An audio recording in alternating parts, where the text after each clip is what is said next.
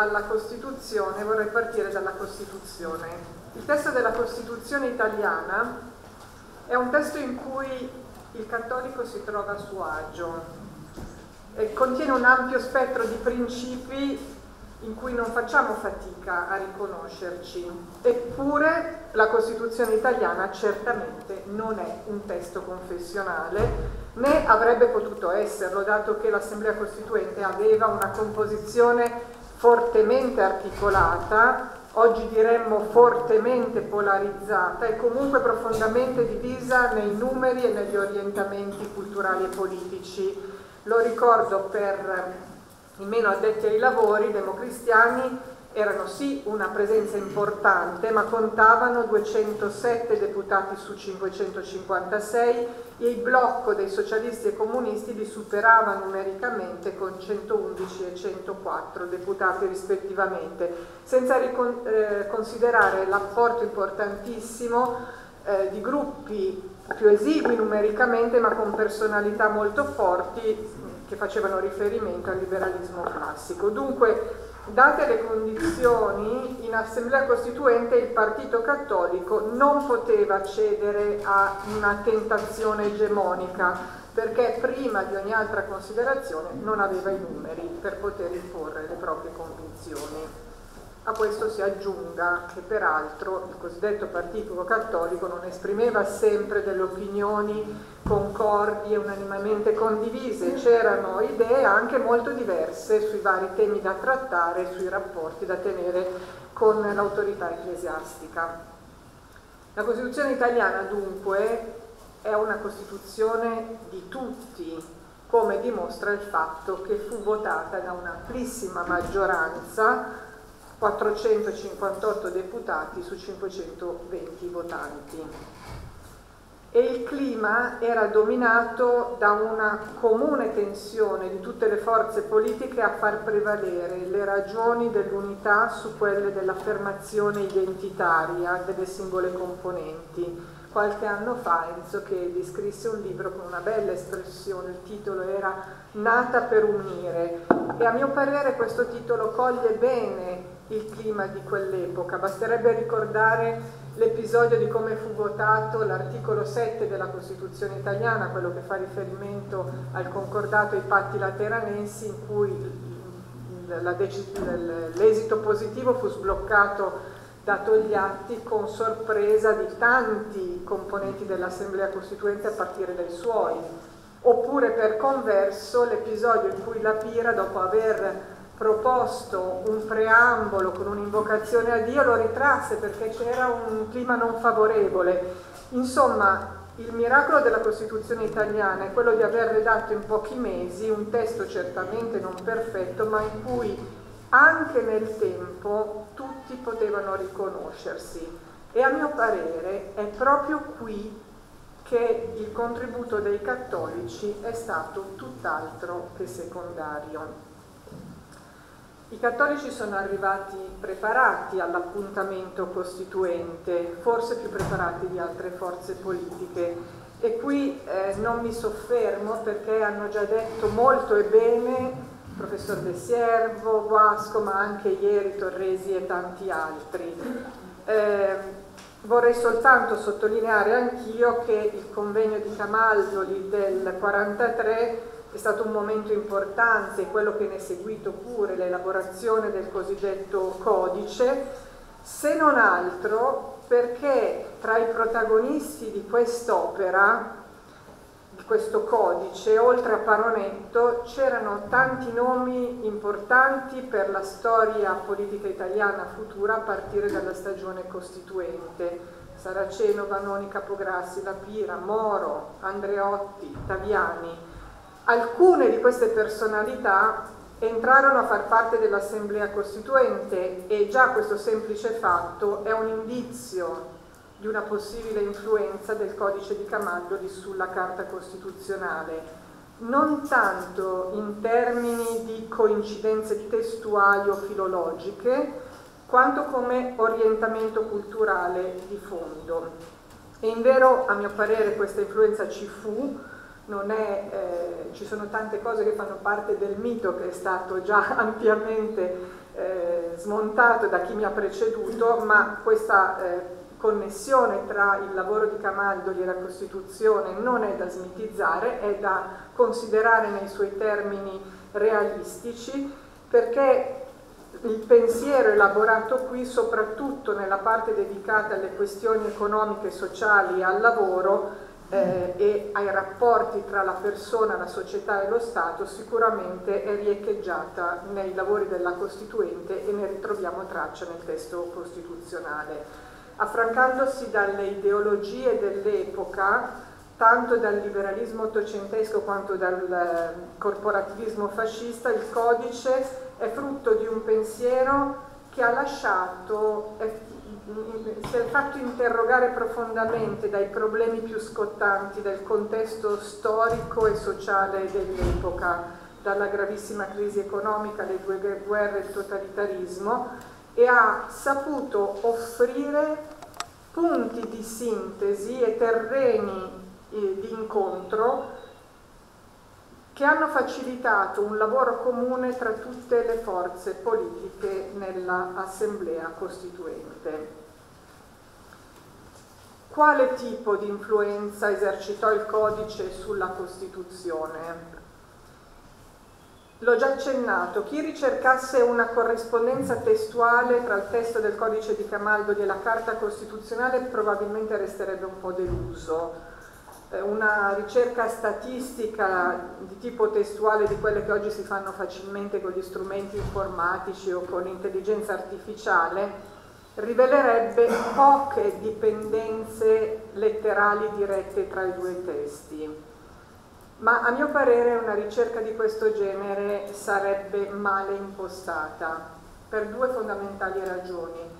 La prima è, come è stato già detto, perché il codice di Camaldile in vero codice non è e non ambiva ad essere, non si tratta di una raccolta di proposizioni normative idonee a essere trasferite in un altro testo legislativo o costituzionale, ma piuttosto, come si autodefinisce, è un documento di cultura sociale composto da un'articolata e argomentata serie di riflessioni organizzate intorno ad alcuni capitoli tematici ritenuti particolarmente significativi per l'ordinamento sociale di quel momento, nell'ora presente, è un'espressione che ricorre nel codice che è molto bella secondo me. La persona lo Stato, la famiglia, l'educazione, il lavoro, la produzione lo scambio, l'attività economica e la vita internazionale. Il codice, lo dice nella premessa, non aveva la pretesa di arrivare a formulazioni o a conclusioni definitive, né nella forma né nel contenuto, ma voleva offrire l'occasione per uno scambio tra studiosi cattolici animati da una sincera ispirazione cristiana e aperti all'approfondimento e al confronto con altri, le famose pagine bianche con cui ha concluso ieri la bellissima relazione Tiziano Torresi. La seconda ragione è eh, che un mero travaso dal codice alla Carta Costituzionale difficilmente sarebbe potuto avvenire il primo, il codice, si rivolgeva innanzitutto al mondo cattolico, come testimonia la presentazione eh, indirizzata appunto alla comunità cristiana. La seconda, destinata a costruire le fondamenta condivise di una nuova comunità civile a livello nazionale, tutta da ricomporre e tutta da ricostruire. Detto questo, l'influenza ci fu, e forse occorrerebbe il lavoro di uno storico con tutti gli strumenti degli storici per ricostruire in modo analitico tutti i percorsi e le migrazioni di concetti e di idee dalla, dal codice alla carta. Io non posso fare un mestiere che non è mio, non sono uno storico e perciò lascio ad altri ben più autorevoli eh, autori mh, e anche interventi di questo convegno il privilegio di questo compito. Del resto una ricognizione in verità è già stata fatta eh, nel prezioso libro di Alessandro Persico sul codice di Camandoli. Io mi limito a prendere due punti che mi paiono particolarmente significativi per qualche considerazione che ci porti anche a una riflessione sul metodo di Camaldoli, significativo anche per il nostro oggi. I due punti essenziali riguardano il rapporto tra la persona, la società e lo Stato e secondo i rapporti economici e sociali. Sono due punti che a mio parere tra l'altro si intrecciano molto bene. Sul valore della persona nei suoi rapporti con la società e lo Stato possiamo innanzitutto dire che è da sempre un tema centrale della dottrina sociale della Chiesa, delle preoccupazioni della Chiesa ed è un tema non meno centrale nel costituzionalismo moderno. I diritti individuali che sono una componente decisiva del costituzionalismo, separazione dei poteri e protezione dei diritti, nascono proprio come dispositivi di garanzia della persona di fronte al potere, specie il potere pubblico dello Stato, sin dalle dichiarazioni francese, quella americana, che segnano la nascita del costituzionalismo. Le esperienze dei totalitarismi fra le due guerre in Europa avevano prepotentemente riportato al centro il problema del valore della persona. Come ebbe a dire Giorgio Lapire in Assemblea Costituente, lo Stato totalitario fu essenzialmente una crisi totale del valore della persona, fino al suo annientamento fisico, oltre che morale e spirituale. E dunque un imperativo dei costituenti era quello di riportare effettivamente al centro la persona in una concezione di rapporti sociali e politici in cui lo Stato fosse davvero a servizio della persona e non viceversa. A questo scopo occorreva, e tutti erano concordi su questo, sicuramente ribaltare la concezione totalitaria dei rapporti tra persona e Stato o tra Stato e persona, invalsa nel periodo fascista, ma occorreva anche superare l'eredità del costituzionalismo ottocentesco, quella concezione individualistica liberale che non aveva saputo arginare l'irrompere dello Stato totalitario. Ed è qui, nella concezione del personalismo di matrice cattolica, che il pensiero dei cattolici ha saputo giocare un ruolo decisivo come naturale punto di incontro e di convergenza tra le istanze di tutti. Ci sono molte tracce nella Costituzione di questo contributo. Io ho scelto di eh, utilizzare la relazione di Giorgio Lapira nella prima sottocommissione, che è uno dei, dei, documenti su cui poi si costruisce tutto il dibattito costituente, insieme alla relazione di Lelio Basso. In quella relazione la Pira insiste su tre aspetti fondamentali di come deve essere costruito il rapporto tra Stato e persona. L'anteriorità della persona rispetto allo Stato, la necessità di accompagnare i diritti di libertà con la tutela dei diritti sociali e il ruolo delle formazioni sociali. Sul primo punto, sull'anteriorità della persona rispetto allo Stato, così platealmente negata del, dal fascismo, eh, troviamo che questo concetto è ripreso quasi testualmente nell'articolo 2 della Costituzione italiana quando si insiste sul verbo riconoscere. La Repubblica riconosce e garantisce i diritti. Quel riconoscere è una eh, testimonianza e un, una sintesi di quell'idea per cui la persona viene prima dello Stato la persona è valore assoluto, come diceva il codice di Camaldoli, è radice e fondamento di tutti i diritti di libertà.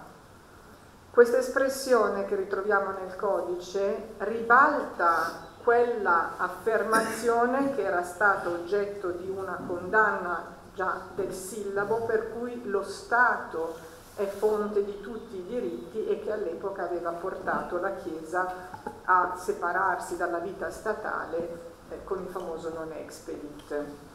Il secondo aspetto su cui insiste la relazione di Lapira è la necessità di completare il catalogo dei diritti di libertà con i diritti sociali. La ragione è che quei diritti di libertà, se non si radicano in condizioni di vita sociali ed economiche adeguate, sono mera retorica, non hanno la forza di garantire quell'obiettivo per cui sono stati formulati. Infatti, dice la Pira, senza la tutela dei diritti sociali, il diritto al lavoro, al riposo, all'assistenza, eccetera, la libertà e l'indipendenza della persona non sono effettivamente garantite. C'è questa sottolineatura dell'effettività delle garanzie della persona. E questa sottolineatura riecheggia l'insistenza che c'è nel codice di Camaldoli su quelle esigenze di giustizia sociale che ricorrono in molti punti e anzi ne sono in qualche modo l'innervatura. Inutile osservare, quasi inutile osservare, che questa richiesta di garantire i diritti sociali incontrò facile accoglienza nell'ambiente della Costituente in quanto fecondo terreno d'incontro tra il cattolicesimo sociale e il socialismo contemporaneo.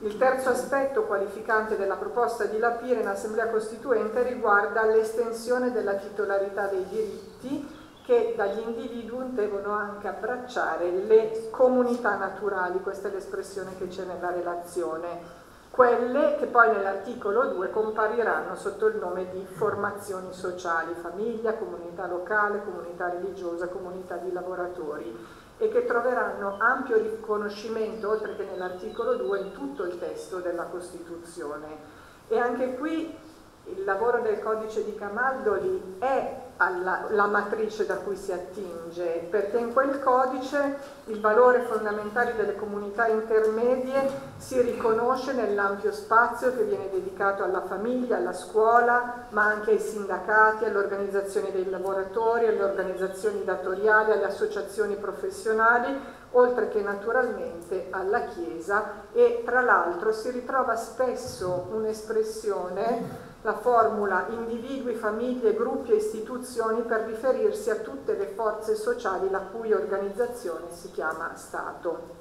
In sintesi, tutti questi punti così qualificanti della Costituzione italiana nascono dalle proposte di Lapira che guarda caso, fu un protagonista di spicco dei lavori dell'Assemblea Costituente, ma anche attivo partecipante almeno ai primi lavori di Calmaldoli nel gruppo dei giuristi, che forse non erano proprio la punta di diamante, dominavano qui gli economisti, credo, come creatività e anche personalità, e comunque la Pira fu continuamente uno dei grandi interlocutori stimati da Sergio Paronetto, che lo sappiamo è il vero regista di tutta questa vicenda. Quindi la presenza eh, nei luoghi decisionali di alcune persone, qui ho parlato di Lapira, tra un minuto arriverò a Paolo Emilio Taviani, si è rivelata un ponte naturale su cui le riflessioni maturate a Camaldoli potevano agevolmente transitare ed essere offerte alla considerazione di tutti in assemblea costituente. Ma questa presenza non sarebbe stata di per sé sufficiente ad assicurare il successo di quelle idee se esse non fossero state offerte in termini comprensibili, condivisibili e convincenti anche alle altre parti politiche senza cedimenti ideologici, ma in modo tale da poter diventare patrimonio comune in un contesto così plurale come quello che eh, abbiamo visto e a connotare l'Assemblea Costituente. È significativa, almeno su un punto che riguarda questa tutela dei diritti fondamentali, è la naturale sintonia che si è venuta a creare tra la relazione di Lapire e quella di Lelio Basso di formazione di cultura socialista su quella che lui definiva la naturale socialità della persona e Lelio Basso completò, fu il promotore, il, il, a lui si deve la proposta di quell'altro grande architrave insieme all'articolo 2 che è l'articolo 3 della Costituzione italiana in cui compare non solo l'eguaglianza formale di tutti i cittadini davanti alla legge, ma quella uguaglianza sostanziale che è veramente un unicum del nostro costituzionalismo, che nelle parole della proposta di Lelio Basso, quasi testualmente riprese poi nel testo finale, vincola la Repubblica a rimuovere quegli ostacoli di ordine economico e sociale che limitando di fatto l'eguaglianza e la libertà degli individui impediscono, sentite le parole originarie, il pieno raggiungimento della dignità della persona umana, il pieno sviluppo fisico, intellettuale, morale e materiale di essa. Cambieranno leggermente nella formulazione finale, ma questa idea di guardare all'uomo nella sua concretezza, alle esigenze pratiche, alla effettività delle condizioni di vita, è quello che ha caratterizzato un grande passo eh, anche nel costituzionalismo da quello moderno a quello contemporaneo e del resto erano proprio le temperie della storia a chiedere questo. Pensate che vabbè, lo sappiamo tutti, Nel, negli Stati Uniti il presidente Roosevelt, stiamo parlando degli Stati Uniti, non propriamente una democrazia aperta a influenze di tipo socialista o progressista, nel famoso discorso allo Stato dell'Unione del 41 parlava delle quattro libertà, tra cui vi è la libertà dal bisogno e dalla miseria, Altrove nella cultura francese si parlava di guardare all'homme situé, cioè a quello sguardo nella concretezza della storia. Ed è qui proprio il ponte che ci porta naturalmente a questo importante pilastro del contributo dato a Camaldoli sui rapporti tra persona, società e Stato, a quell'altro grande fattore di contributo originale che è nato in queste, queste sale, che riguarda invece i rapporti economici e sociali. Qui il codice di Camaldoli ha davvero segnato un punto di novità nel costituzionalismo ma anche nelle posizioni precedentemente sostenute dal pensiero cattolico. Qui si prende le distanze dal corporativismo perché gli autori del codice si erano resi conto che l'idea delle corporazioni non aveva più nulla a che vedere con quella matrice un po' ideale dell'epoca medievale a cui tradizionalmente si faceva riferimento, ma erano del tutto inseparabili dai regimi autoritari e dall'interpretazione che del corporativismo si era data in quell'epoca, che era diventato una forma di controllo e di oppressione dello Stato sulla società. E tuttavia il codice non è significativo soltanto per il superamento che esso determina rispetto a posizioni precedenti, ma anche in positivo per la sua capacità di prefigurare un nuovo e originale ordine economico e sociale. Non è automatico, avvertire la necessità di superare il passato e di saper proporre qualche cosa di nuovo. Questo invece accadde eh, a Camaldoli e credo che abbia molto a che fare con quel metodo su cui cercherò di tornare alla fine che sottolineava Guasco poco fa, e cioè che si trattava di persone che avevano una conoscenza diretta di come funzionavano le cose. Paronetto, oltre che essere il regista di Camaldoli, era uno degli uomini di riferimento dell'IRI, quindi vedeva, vedeva concretamente come operativamente si svolgevano i rapporti economici. Tra i te tanti temi che si potrebbero eh, esaminare su questo punto, perché davvero lo, Camaldoli è ricchissimo in questi termini, c'è una parte anche la più estesa forse materialmente, eh, mi soffermo un attimo sulla proprietà privata che è riconosciuta nel testo costituzionale all'articolo 42 come diritto della persona, ma non più come diritto inviolabile, come invece accadeva nello Statuto Albertino e in tutte le Costituzioni dell'epoca liberale, ma anzi è riconosciuta in quanto dotata di una funzione sociale. Alla proprietà privata nel codice si dedicano molte pagine, soprattutto nel capitolo dedicato alla produzione e allo scambio, quindi si fa riferimento in particolare implicitamente alla proprietà dei mezzi di produzione, ma non solo. Ed è lì che si trovano molti enunciati e molti principi volti a concretizzare quella giustizia sociale come principio direttivo della vita economica che secondo gli autori del codice legittimano non soltanto un ruolo dello Stato come regolatore e coordinatore delle iniziative dei privati, ma anche come attore diretto delle attività economiche, l'IRI DOCET. In questo contesto si incontrano molte enunciazioni che risuonano anche nella Costituzione a partire dalla definizione, l'articolo 42 dice la proprietà è pubblica e privata, quindi ci sono possibili soggetti, tra l'altro con un'inversione non è privata e pubblica ma è pubblica e privata, che riprende quasi testualmente l'incipit del paragrafo 72 del codice di Camaldoli, ma soprattutto a mio parere è interessante una concezione che esprime una duplice funzione della proprietà che è strumento di libertà delle persone, la possibilità di detenere dei beni è appunto nella concretezza uno strumento di libertà, ma è anche funzione sociale, contributo alla realizzazione del bene comune e della giustizia sociale. Ed è questa concezione che si riflette nel testo costituzionale e da cui conseguono tutta una serie di corollari che tra l'altro Paolo Emilio Tarveani esprime proprio testualmente nella sua relazione alla terza sottocommissione in assemblea costituente e che riguardano la regolazione, il modo di trasmissione dei beni e tante altre cose. Anche in questo caso al conseguimento del successo delle idee di Camaldoli ha sicuramente contribuito la fortunata coincidenza degli autori delle pagine del codice e quello del relatore in assemblea costituente,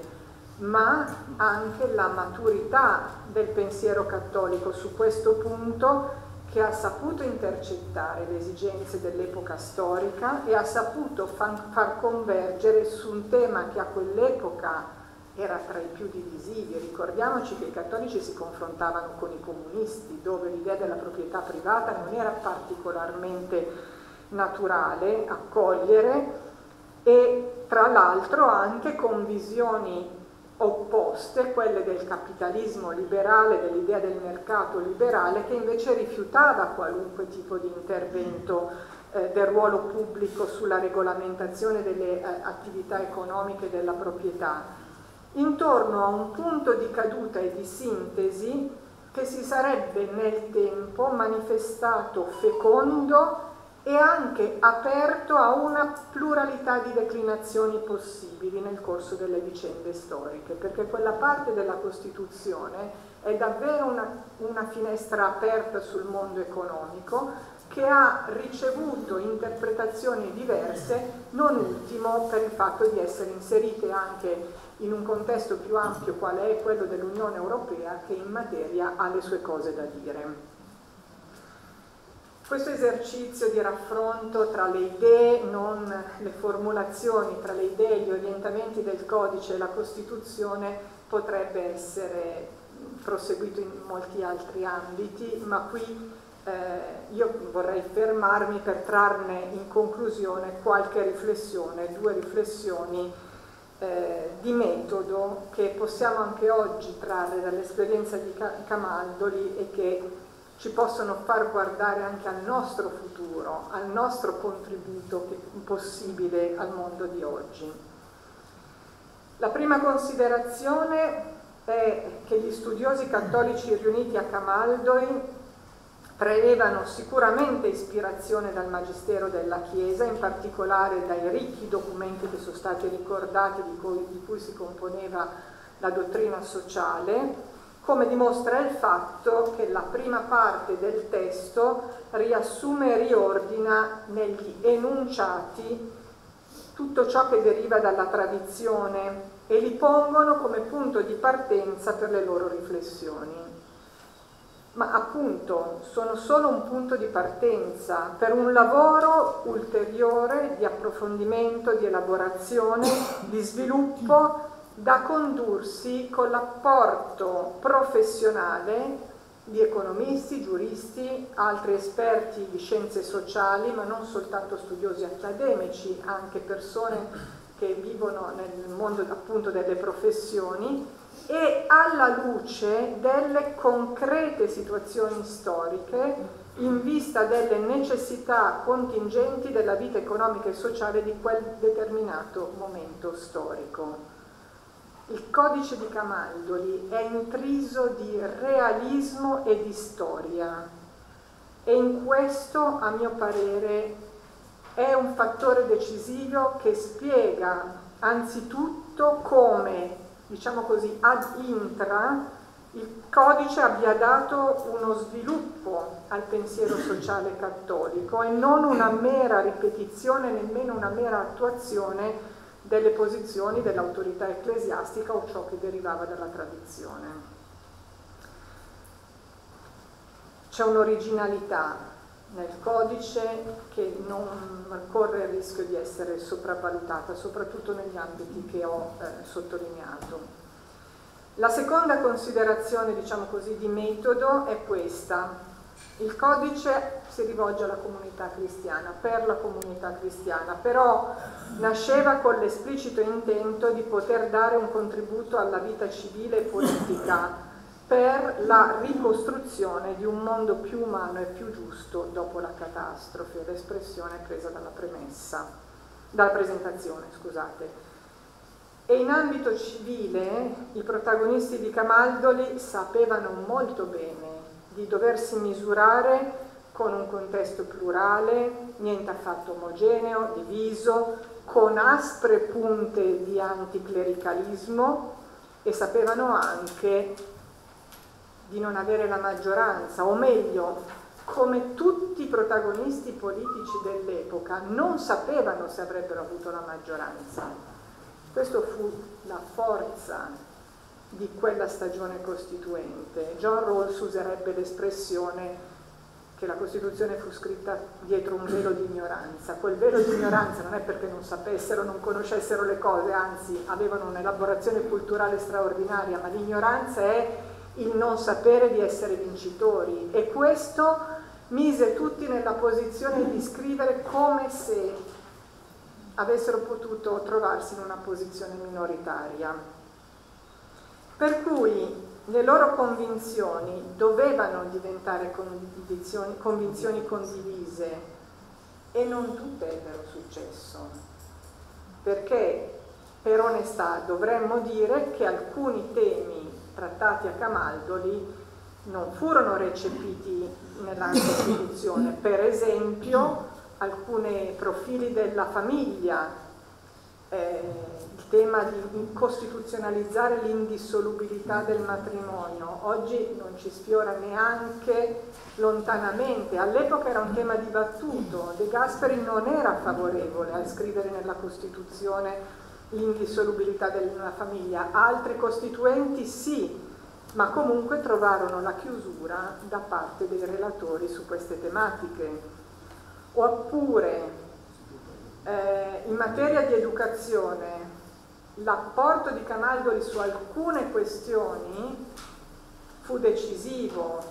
ma su altre fu perdente. Per esempio, quando il relatore sulle, de, della, di base sull'educazione, sulla scuola era Aldo Moro, non era proprio un nessuno. Alcune delle sue idee furono molto ben recepite, ma quando propose non si sa con quanta convinzione, che in tutte le scuole dello Stato dovesse essere insegnata la religione cattolica secondo la tradizione della Chiesa,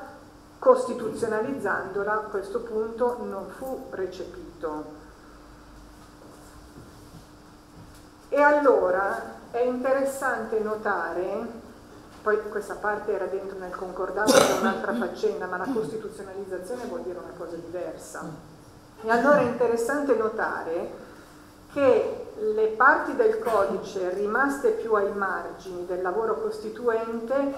furono quelle più marcatamente identitarie o se volete confessionali o quelle che tendevano a riproporre il magistero ecclesiale così com'era. Mentre i punti di forza furono altri contenuti, quelli su cui abbiamo insistito e altri ancora, ma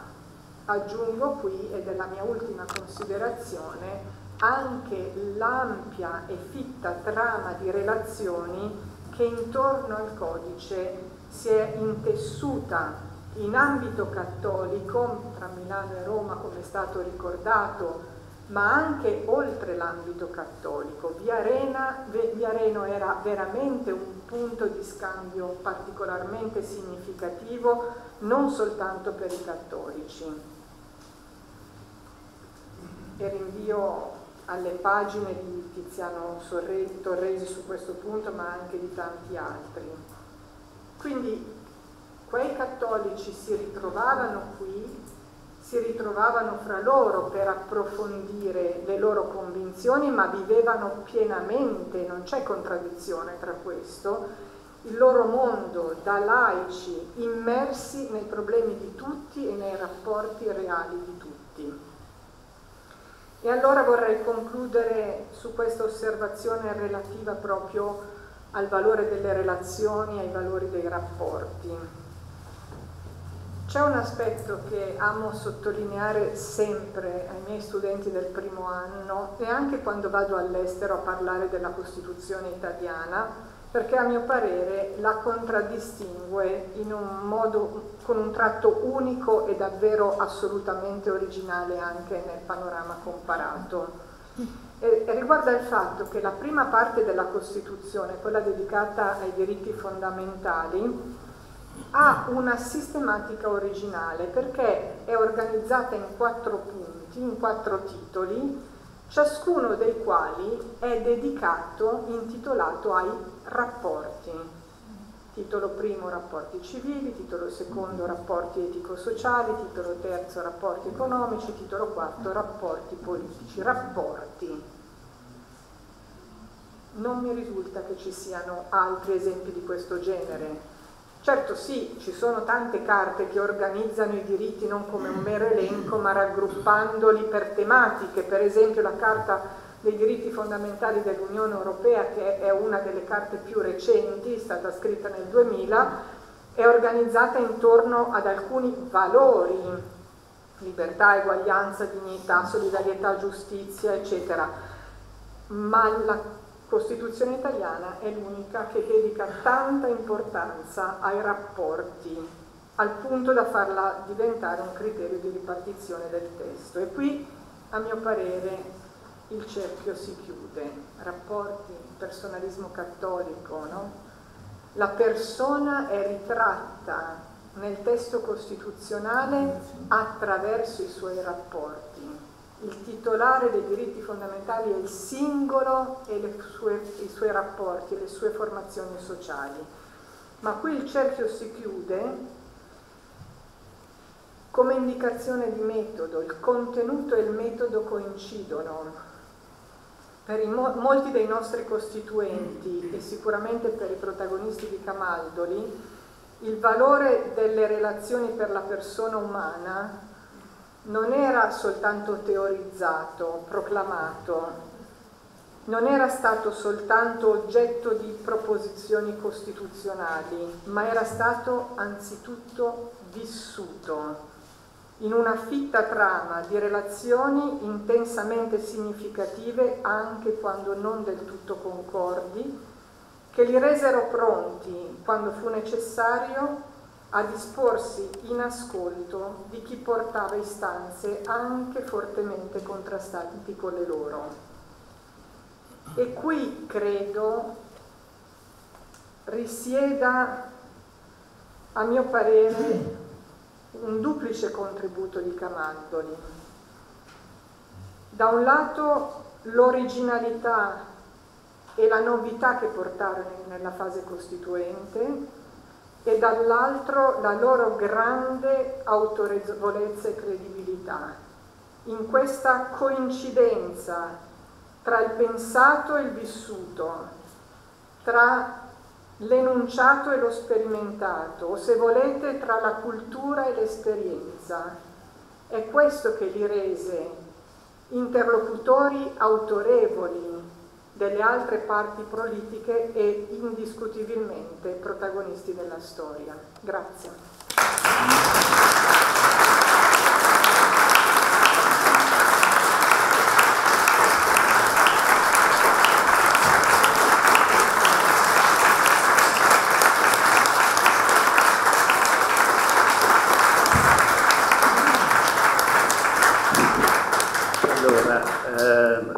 Quarta relazione e ultima della mattinata,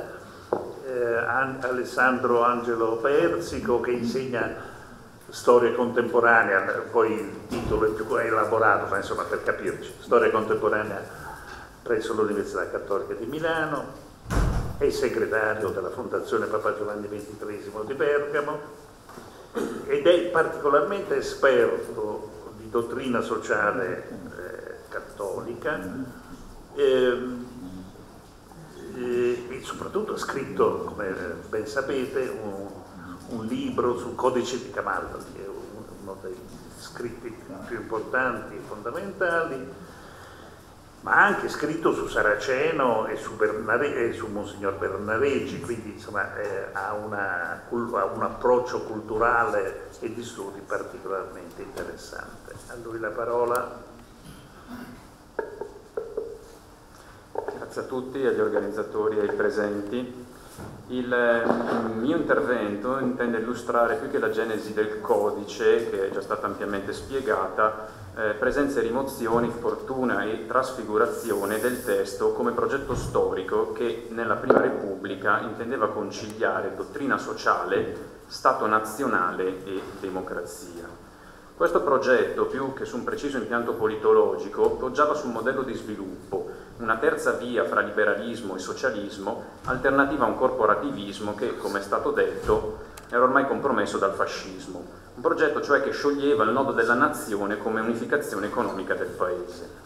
La sua ricetta economica andava oltre la redistribuzione, insisteva sull'intensificazione e regolazione del capitale sociale fisso, cioè pubblico e privato, attraverso una pianificazione che da un lato coinvolgesse tutti i soggetti sociali interessati allo sviluppo, dall'altro lato, assicurando una vasta concertazione politica, portasse a compimento, tramite la riduzione di squilibri e divario, la maturazione civile del Paese, inserendo così nell'ordinamento democratico quelle masse che l'unificazione aveva lasciato ai margini della nazione. In tal senso il codice di Camaldo aveva un'impostazione statalista, industrialista e neomeridionalista. Ampliò la riflessione su Stato, amministrazione pubblica e impresa svolta negli ambienti intellettuali cattolici fra anni 30 e anni 40, dialogando sia con gli ex popolari sia con la magmatica sinistra cristiana. Una proposta così innovativa necessitava di un ampio sostegno. Dopo la guerra, sia Licas di Veronese, sia Moro e poi Golzio, come segretari del movimento laureati, promossero il documento come spunto di riflessione per circoli e sezioni. Il volume venne spedito a molte personalità, ad esempio a Montini, al ministro dell'industria Gronchi, a Menichella, che era l'ex direttore dell'IRI e poi alla Banca d'Italia, circolò anche nell'Istituto per la ricostruzione industriale. La sua proposta venne però poco compresa e ancor meno apprezzata, anche nell'associazionismo. Mentre si sgretolava l'unità cellenista, l'universo cattolico, tutto dalla DC alle parrocchie, iniziò ad attrezzarsi per una competizione politica più che culturale, mostrando pure un certo pluralismo, tanto nel Partito Cattolico quanto nell'azione cattolica, anche in merito a democrazia, laicità dello Stato e libertà religiosa. Divergenze queste che emersero ad esempio alla settimana sociale eh, dedicata fino al 1945 alla Costituente. Il codice ricevette, dopo la guerra, tiepide recensioni, ad esempio sull'Osservatore Romano e sulla rivista La Scuola Cattolica del Seminario di Milano, recensioni che lo riportarono dentro la tradizionale dottrina sociale. Subì poi la concorrenza, come è già stato detto, di tanti pamphlet sociali usciti nel dopoguerra, anche a firma di ex camaldolesi, penso ad esempio a Taviani, Pergolesi e a Lapira. Ogni discussione e aggiornamento del documento venne così subito eh, consumato dalla mobilitazione del cattolicesimo, compresa la militanza civile di fucine laureati che appunto avevano contribuito a promuoverlo nei grandi passaggi elettorali del dopoguerra, a iniziare dal referendum e costituente. Qual è stata quindi la presenza del codice in assemblea? In parte lo abbiamo già sentito. La sua proposta è stata assimilata in un progetto democristiano che amalgamava attorno alla persona culture ed esperienze diverse, dal garantismo degli ex popolari allo stato sociale della seconda generazione, in realtà, come è stato anticipato dalla professoressa Cartabia, solo in parte. La partecipazione cattolica all'assemblea, almeno a mio giudizio, soprattutto dei più giovani costituenti, più che dar voce al codice, anche nel dialogo con i partiti marxisti, coagulò quel gruppo dossettiano che, in parte proveniente dalle sezioni intellettuali dell'azione cattolica, come ad esempio la PIRA, in parte docenti in università cattolica come Fanfani, avevano solo in parte partecipato alla stesura del documento, soprattutto ai, eh, alle sue fasi eh, iniziali. La sua limitata presenza ehm, si notava ad esempio nella terza sottocommissione, quella sugli allineamenti economici, dove si discuteva quello Stato ordinatore, riformatore, che doveva costruire nuovi rapporti sociali. In questa sede né Fanfani né Taviani recepirono fino in fondo la proposta del codice. Il primo coniugava mercato e misure espansive vagamente keynesiane contro la disoccupazione, insistendo ancora sulla cogestione operaia per assicurare partecipazione e riformare così l'economia industriale, che è un po' il grande eh, demone della dottrina sociale cattolica. Il secondo apriva invece verso la socializzazione, ma per riproporzionare ceto operario e proprietà. Nessuno quindi assumeva come proposta vera e propria la pianificazione del codice, cioè la correzione del mercato per massimizzare la sinergia fra pubblico e privato, compresa l'impresa di Stato, rispetto a un'idea di sviluppo e quindi a un'idea di paese. Questa prospettiva venne soffocata dall'acre dibattito sul parastato fascista, sull'IRI, sulla programmazione, dentro e fuori la democrazia cristiana e l'assemblea costituente. Si perse così, cioè, nella crescente polarizzazione tra statalizzazione e privatizzazione, statalismo e liberismo, che nel quadro di, un cres- una crescente contrapposizione interna ed internazionale appiattirono proposte riformiste più aderenti alla fisionomia del Paese. L'emendamento Montagnana, che insisteva su una pianificazione dirigista come premessa al diritto del lavoro, spostò infatti la DC su posizioni più moderate L'equilibrio fra pubblico e privato con l'articolo 41 fu individuato perciò fuori dalla programmazione, attraverso sfumati riferimenti a uno Stato regolatore. Il codice sopravvisse così sotto traccia nella prima legislatura.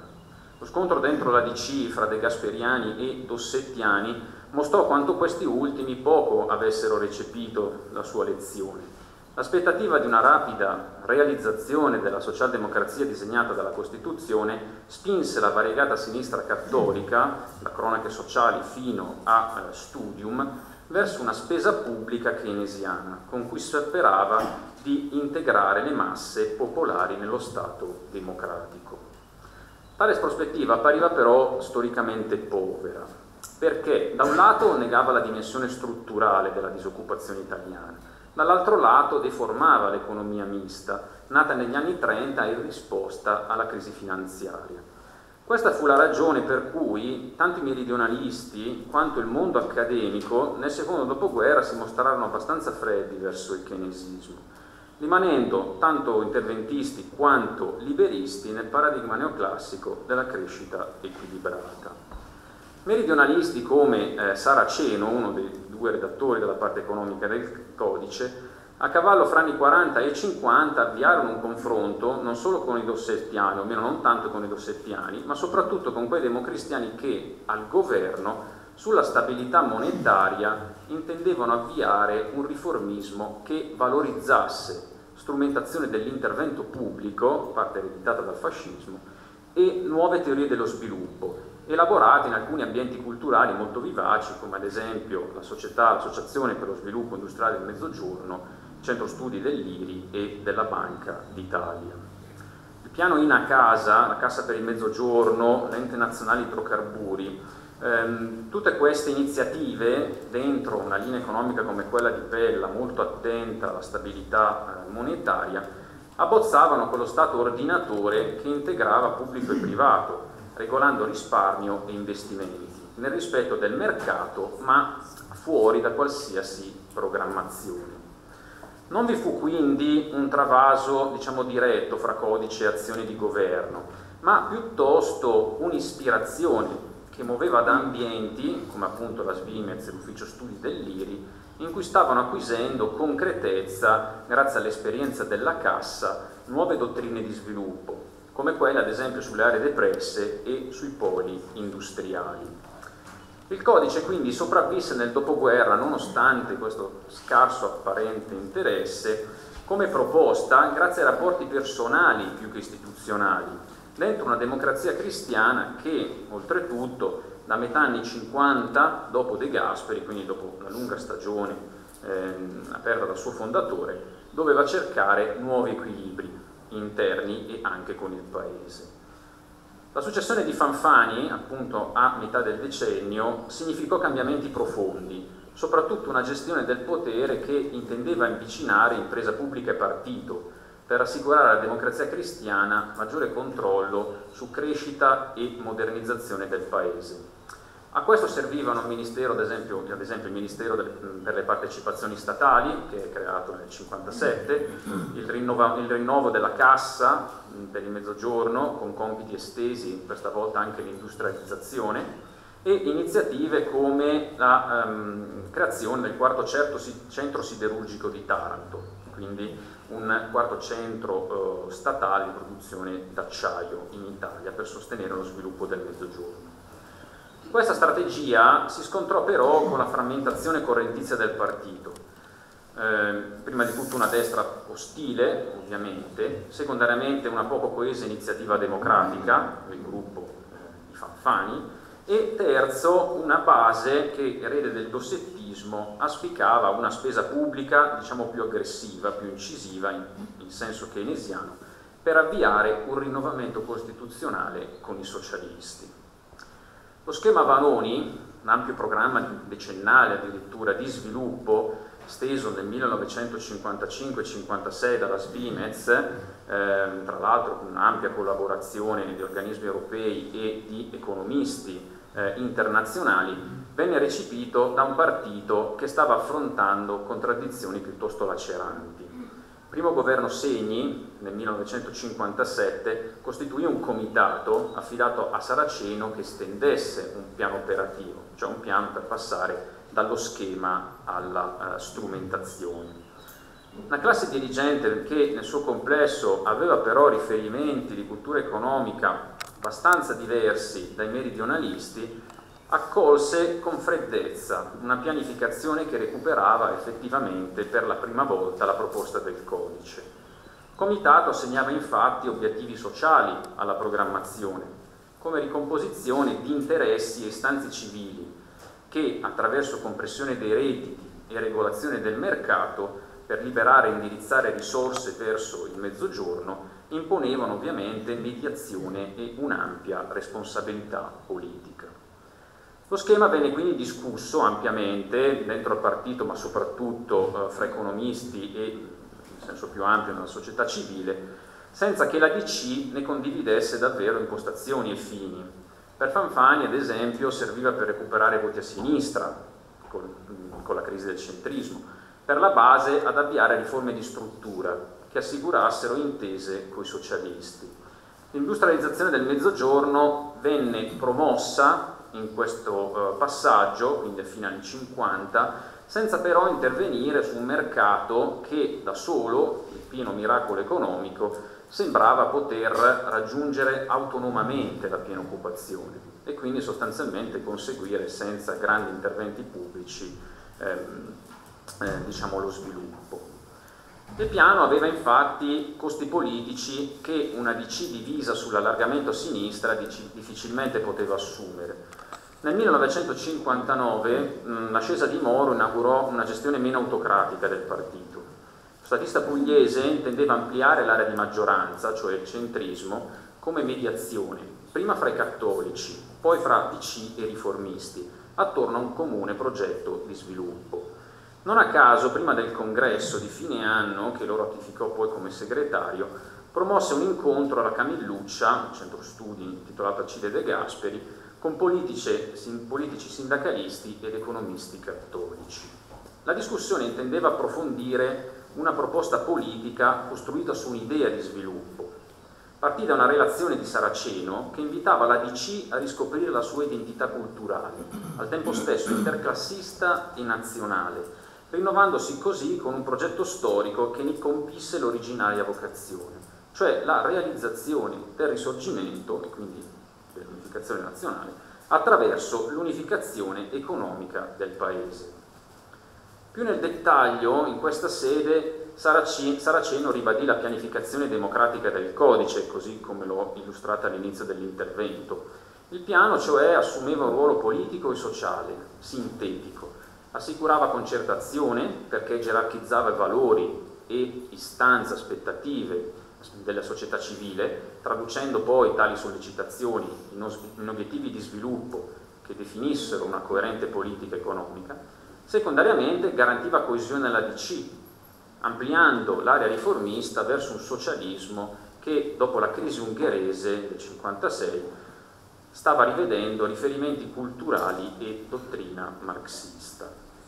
La socialdemocrazia, cioè, dipendeva per Saraceno per Moro da un progetto storico che abbracciasse l'intero paese, come maturazione civile di masse popolari ancora ai margini della nazione. Tale progetto incontrò però resistenze già in sede congressuale, alla fine dell'anno, alla fine del 1959, con una segreteria morotea ratificata da una maggioranza piuttosto composita, quindi una maggioranza diciamo prudente sull'allargamento a sinistra, quindi piuttosto antifanfaniana. Successivi passaggi sono abbastanza noti, li riprendo rapidamente, parentesi del governo Tambroni con l'MSI, le prime giunte comunali di centrosinistra a Milano, Venezia, governo delle convergenze democratiche guidato da Fanfani, terzo, guidato dallo statista Retino, che sostenne iniziative di politiche meridionaliste senza però impegnarsi su una pianificazione che inserisse lo sviluppo nella politica economica ordinaria, cioè nell'attività economica ordinaria. Una certa discussione culturale venne comunque eh, incoraggiata, ehm, prima di tutto dai lavori della Commissione Papi, incaricata nel 1960-61 di aggiornare lo schema Vanoni nel, no, nel nuovo quadro del mercato comune e eh, della crescita degli anni precedenti. Secondariamente una certa discussione venne incoraggiata dalle aperture dei socialisti verso una modernizzazione guidata dal piano,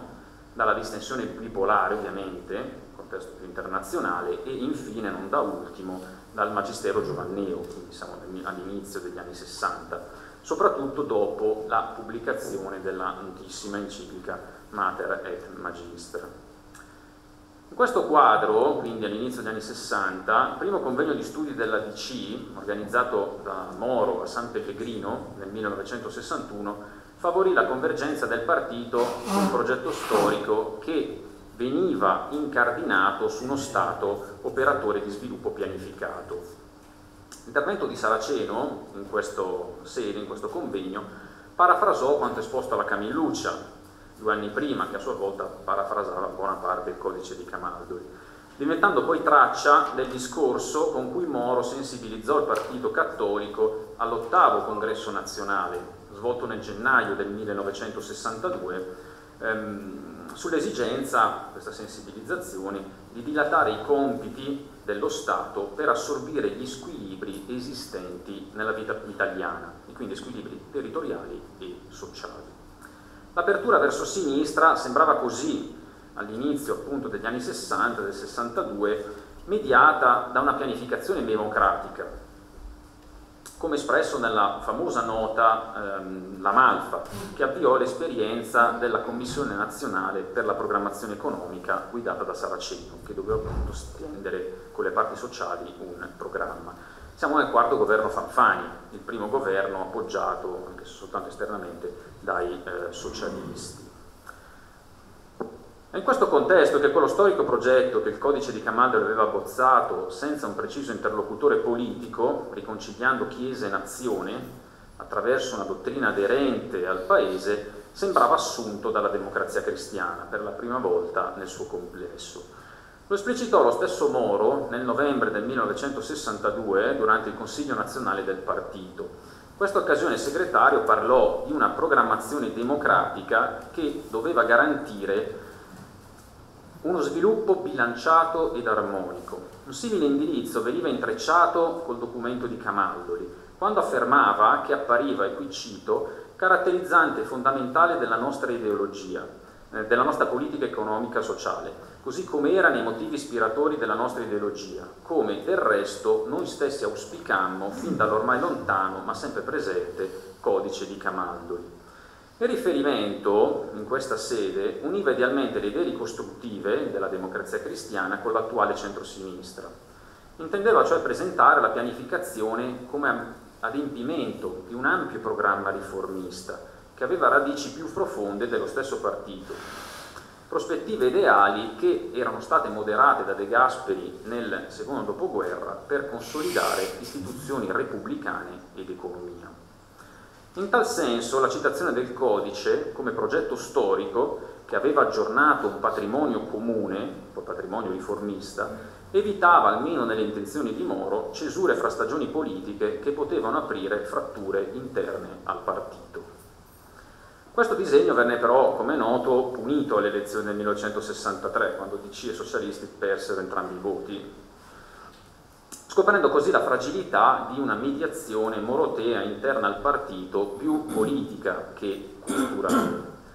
Dopo la parentesi dell'esecutivo guidato da Leone, il primo governo di centro-sinistra organico, guidato invece questa volta da Moro, venne costruito alla fine del 63 moderando il precedente programma riformista.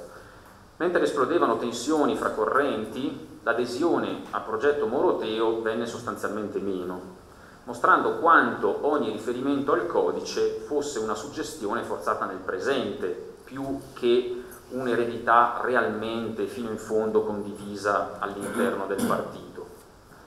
Nel 1964, con l'inversione del ciclo ciclo economico e le necessarie misure congiunturali, Ogni proposta in grado di coniugare nazione, cioè riduzione degli squilibri e dei divari territoriali, e assetti sociali più democratici attraverso una sintesi politica, cioè il piano, che trovasse nel codice di Camaldoli, diciamo dei riferimenti ideali, venne sostanzialmente accantonata. Quindi siamo proprio all'inizio della mh, stagione di centrosinistra. Pianificazione sostanzialmente si spense mh, con i piani Giolitti e Pierancini presentati nel 64-66, trovando poi ben poco spazio anche al secondo convegno di San Pellegrino, mentre lo stesso mondo cattolico rimase in questo frangente abbastanza freddo verso l'esperienza camaldolese, anche perché l'associazionismo, a metà anni 60, si stava emancipando da movimentismo piano e collateralismo verso un impegno più religioso, meno politico, più religioso. Golzio, che era ancora segretario anche uscente del movimento laureati, alla fine del 64 propose un aggiornamento del testo, soprattutto quelle parti su Stato, lavoro, eh, sindacati, ma anche l'ordinamento internazionale, che ormai apparivano consumate dalla storia. Significativamente, diciamo, nel suo progetto egli eluse una pianificazione che stava naufragando con il centro-sinistra. Evidenti erano infatti timori a metà anni 60 di compromettere l'azione cattolica dentro questioni che laceravano DC e politica. Anche per questo il Consiglio nazionale, dell'azione cattolica ovviamente, rispetto a un'onerosa progettazione culturale, preferì impegnare il laicato in una riflessione sulla Costituzione. Gli anni 70 accumularono tensioni che divaricarono politica e società civile, consumando il ruolo nazionale svolto dalla DC come partito italiano, cioè la mediazione fra laici e cattolici. Contestazione giovanile e nuove esperienze d'apostolato che interpretavano il concilio, autunno caldo e autonomismo socialisteggiante delle ACLI, erosioni di spazi e pastorale parrocchiale, a inizio negli anni 70 la secolarizzazione, visibile nel referendum sul divorzio, scompose quell'area cattolica su cui era stata edificata l'egemonia della DC, soprattutto in assenza di un forte progetto culturale.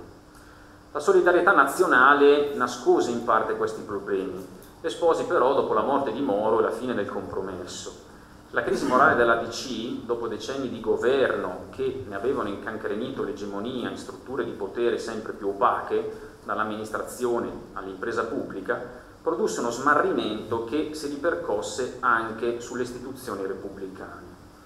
La seconda metà del decennio questa crisi spinse verso una riscoperta della Costituente, in questo decennio che il dibattito sulla Costituzione si rianima suscitando infatti un ampio dibattito che in area marxista, da una prospettiva gramsciana di struttura, insisteva sulla ricostruzione repubblicana come rinnovamento disatteso. L'attuale deriva, insomma, era interpretata come lineare successione fra Italia liberale, regime e repubblica, con una DC che, die, che ehm, dietro un interventismo, quindi a interventi sociali utili per gestire il consenso, aveva in realtà sostenuto una ripresa capitalista per consolidare i vecchi assetti del paese. Questa interpretazione non venne assunta soltanto in area marxista da storici marxisti, ma anche da alcuni di quei cattolici che avevano sofferto sconfitta del dossettismo e ritiro di Dossetti negli anni 50. La loro ricostruzione, penso ad esempio a quella offerta da Baget Bozzo nella sua famosa storia sulla DC, apparsa proprio a metà del decennio, appiattiva la complessa articolazione che aveva animato il mondo cattolico, prima e dopo la Costituente, in una sorta di dicotomia fra conservatori e progressisti, quindi conservatori popolari, ex popolari, progressisti eh, dossettiani. Qualunque esperienza culturale alternativa alle correnti veniva così cancellata. Il codice riappariva nel dibattito per la prima volta, ma la sua proposta veniva svilita come progettazione, come cultura che ricalcava le linee economico-sociali dei primi documenti democristiani, come appunto le idee ricostruttive. A questa prospettiva rispose alla fine del decennio una storiografia cattolica che con autori come Scopola, Traniello, valorizzando spiritualità e cultura, studiava genesi e formulazione del progetto democristiano, come incontro fra Chiesa e democrazia avvenuto tra fascismo e resistenza. Rilevanti in tal senso furono le indagini di giovani storici, come Moro, Renato ovviamente, Pombeni, Giovagnoli su Fucini Movimento Laureati, studi che ricostruivano il retroterra della democrazia cristiana, comprese esperienze come il codice. Questo veniva, in questi lavori, con qualche forzatura assimilato nella cultura generale degli ambienti intellettuali, ma al tempo stesso separato per la prima volta con decisione dall'esperienza del dossettismo. Per questi storici il codice esprimeva ideali proposte di un'intera generazione di fucini e laureati perché comprese poco la sua proposta economica, limitandola, almeno a mio giudizio, a interventismo e ridistribuzione.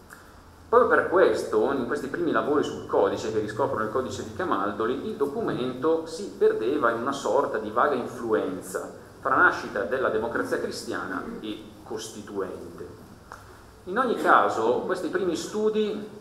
inaugurarono la terza stagione del codice, e qui mi avvio alla conclusione, dopo la scarsa circolazione del dopoguerra e la breve resurrezione che aveva avuto con il progetto Moloteo. La coscienza che una certa modernizzazione del paese, quella guidata da centrismo e centrosinistra, aveva esaurito prospettive politiche, spinse molti, soprattutto giovani, verso Camaldoli. In articoli convegni, come ad esempio nell'intervento di Maria Luisa Valier, moglie di Paronetto, in un incontro del 1979 su DC Costituente, il codice iniziò a essere interpretato come patrimonio di valori condiviso da un'intera generazione politica. Questo spirito di Camaldoli, in un certo senso, recuperava solo in parte la storiografia coevo ovviamente,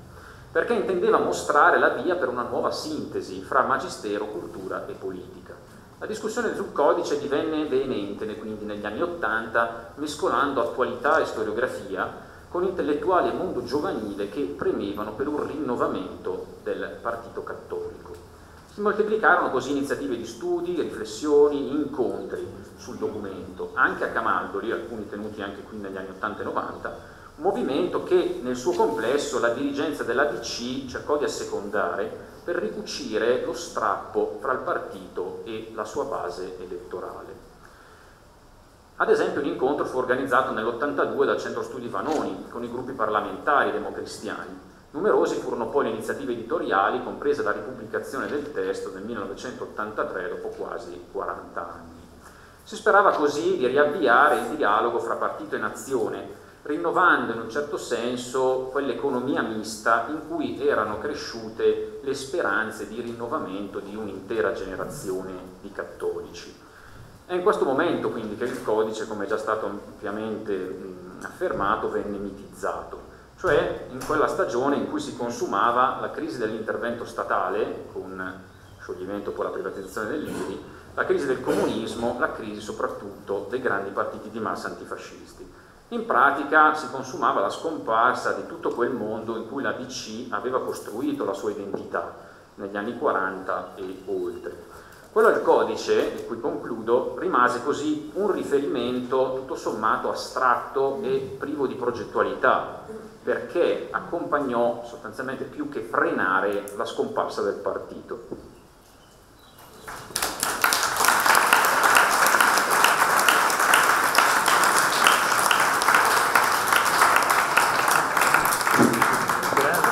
Anche all'ultimo relatore e adesso chiamiamo Torresi che lui è responsabile e guiderà da adesso in là no, no, no, no, no. no, no, tocca ancora a, a, te moderare tocca ancora a te moderare io volevo solo dire questo adesso iniziamo il dibattito andremo fino alle 12.50 poi c'è il pranzo però come avete visto dal programma per favorire il dibattito eh, abbiamo chiesto a quattro studiosi di fare da discussant in ciascuna delle tre sessioni e vorrei presentarveli. Sono Giovanni Mario Ceci, che è eh, professore associato al Dipartimento di Scienze Politiche dell'Università degli Studi di Roma 3 e è membro del Comitato di Mondo Contemporaneo, è studioso di fascismo, di storia politica dell'Italia repubblicana, di storia della democrazia cristiana, del terrorismo e degli intellettuali durante la guerra fredda. Ha pubblicato volumi su Renzo De Felice, su Moro e il PC, sul terrorismo italiano, sulla, C, sulla CIA e il terrorismo italiano dalla strage di Piazza Fontana negli anni Ottanta. Poi abbiamo Raffaella Perin, che è professoressa associata di storia del cristianesimo all'Università Cattolica del Sacro Cuore, specialista della Chiesa contemporanea, ha studiato antisemitismo, antiprotestantesimo, antimodernismo cattolico nella prima metà del Novecento e poi soprattutto negli ultimi anni si è dedicato in particolare eh, ai media, alla politica vaticana, eh, pubblicando eh, il volume La radio del Papa, propaganda e diplomazia nella seconda guerra mondiale, edito da Mulino, è imminente una traduzione in inglese, un volume di, di grande interesse di grande fascino. Fa parte dell'equipe del progetto di ricerca Global VAT Rebuilding the World Society and Human Identity, The Global Perspective of Vatican Archives. Poi Tommaso Bari, che insegna storia contemporanea presso l'Università di Palermo e si è occupato anche lui di fascismo, di storia sociale della guerra e partiti politici dell'Italia repubblicana e il suo ultimo lavoro è Andreotti, una biografia politica dall'associazionismo cattolico al potere democristiano, pubblicato da Mulino nel 2021. Infine Guido Panvini, ricercatore presso il Dipartimento di Scienze Sociali ed Economiche della Sapienza, ha svolto attività di ricerca e di insegnamento presso l'Università della Tuscia di Macerata, la LUIS di Roma,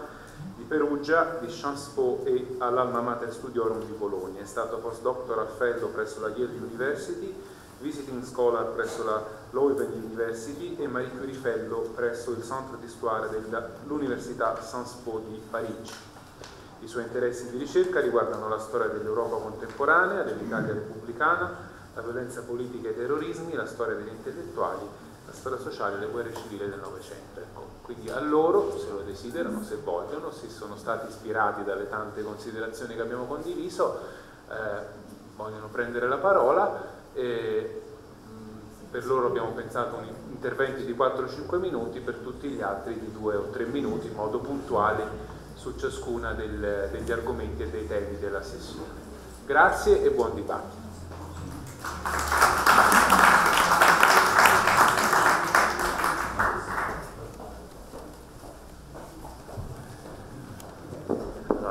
Buongiorno a tutti, io sono Tommaso Baris e diciamo, il mio ovviamente non è un intervento strutturato ma dire, semplicemente alcune considerazioni che nascono dalle interessanti relazioni ascoltate. Eh, direi questo, mi sembra che noi stiamo eh, ragionando su eh, due ordini di questioni. Il codice di Camaldoli che abbiamo ribadito oggi non è un codice, non è stato scritto nella settimana e mancavano tra virgolette molti, molti degli autori. Quindi da un lato come dire, cosa eh, quel documento che è scritto in, eh, questo modo dal 43 al 45 ci dice come eh, occasione di riflessione di alcuni gruppi intellettuali precisi ma anche molto delimitati numericamente importanti a cui viene affidato la speranza oltre che il compito di formarsi in vista di una trasformazione. Però come dire utilizzare quel documento in realtà per eh, ritornare a un momento che era aperto, dinamico, in evoluzione, i cui esiti non erano precostituiti. Mi sembra che la relazione che abbiamo sentito di Guasco vada molto in questa direzione, cioè a non eh, diciamo, eh, rileggere a posteriori in maniera eccessivamente schematica e rigida quel ruolo, utilizzare invece eh, quel documento per capire l'ampia e articolata discussione dentro il mondo cattolico in cui, lo dico qui in maniera esplicita, come dire, l'esito democratico è stato un percorso e non una scelta, come dire, precostituita. Noi, diciamo, questo mi ha molto sorpreso, le relazioni sono state molto interessanti, eh, però rimandano appunto a un'articolazione del rapporto tra eh, movimenti intellettuali, gerarchie cattoliche spinte, ma anche, come dire, eh, relazione dialettica e probabilmente l'esito democratico è ehm, progetto di alcuni ma non di tutti e sappiamo come anche dentro stesso mondo vaticano ci fosse una pluralità di visioni, sappiamo che a lungo, anche addirittura fino agli anni 50, come dire, eh, si è guardato a esperienze come la Spagna e il Portogallo che democratiche non erano. E ah, in realtà anche sull'unità dei, dei, dei, cattolici in politica c'era un'articolazione di, di posizioni. Ecco che poi noi vedremo continuerà anche nel dopoguerra. Quindi da un lato un problema, cioè rileggere dentro quella specifica temperie, ricordare secondo me la centralità che anche questo è stato fatto, l'evoluzione bellica, l'evoluzione politica, il crollo del fascismo, la, la, la definizione diciamo di no, questo terra di mezzo tra il fascismo che non c'è più o sappiamo che sta in realtà per morire e la democrazia che non c'è ancora, però in questi intesi come elementi di ricerca mi sembra particolarmente pregnante. L'altro elemento che invece emerge è invece eh, quello che è stato qui chiamato il mito, la funzione mitica del codice di Camaldoli, cioè in realtà come dire, una risorsa simbolica che quindi ci pone dei problemi diversi, perché i miti funzionano in politica, hanno un ruolo, riattivano energie,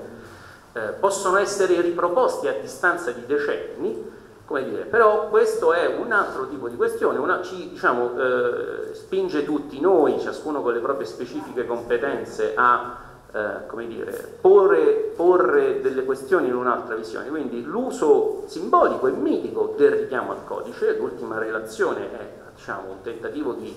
eh, lettura in questo senso, cioè come in differenti fasi politiche che hanno differenti contesti storici si può utilizzare come termine di proposta politica in realtà presente, cioè relativa a quello specifico momento, e sono stati fatti alcuni esempi, il 62, ma anche la crisi degli anni 80, quindi ritornare a Camaldoli no, per ripensare una propria funzione. Allora io dico che secondo me mi sembra che queste due questioni siano questioni importanti, ci pongono delle questioni metodologiche, la diciamo, sollecitazione generale, la, che, che, faccio rispetto a questo tema è che forse quello diciamo, che è rimasto molto sulle, sullo sfondo è il contesto al di fuori del mondo cattolico, che pure ha pesato. Cioè è chiaro che il tema della programmazione è chiaro che ha, eh, o del ruolo regolatore dello Stato, ha dei riferimenti che sono quelli precedenti degli anni 30 e che poi vengono acuiti con la crisi della seconda guerra mondiale di un certo tipo,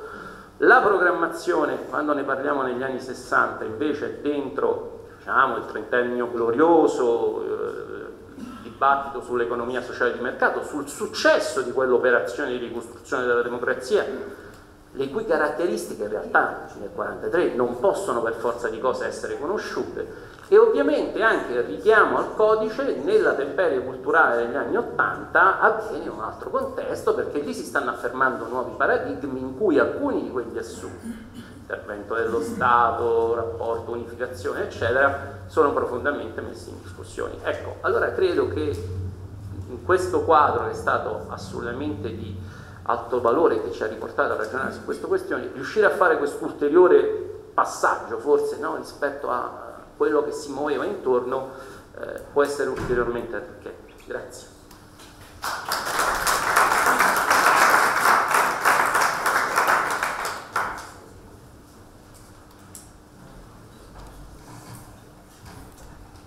Salve, buongiorno, sono Giovanni Ceci. Eh,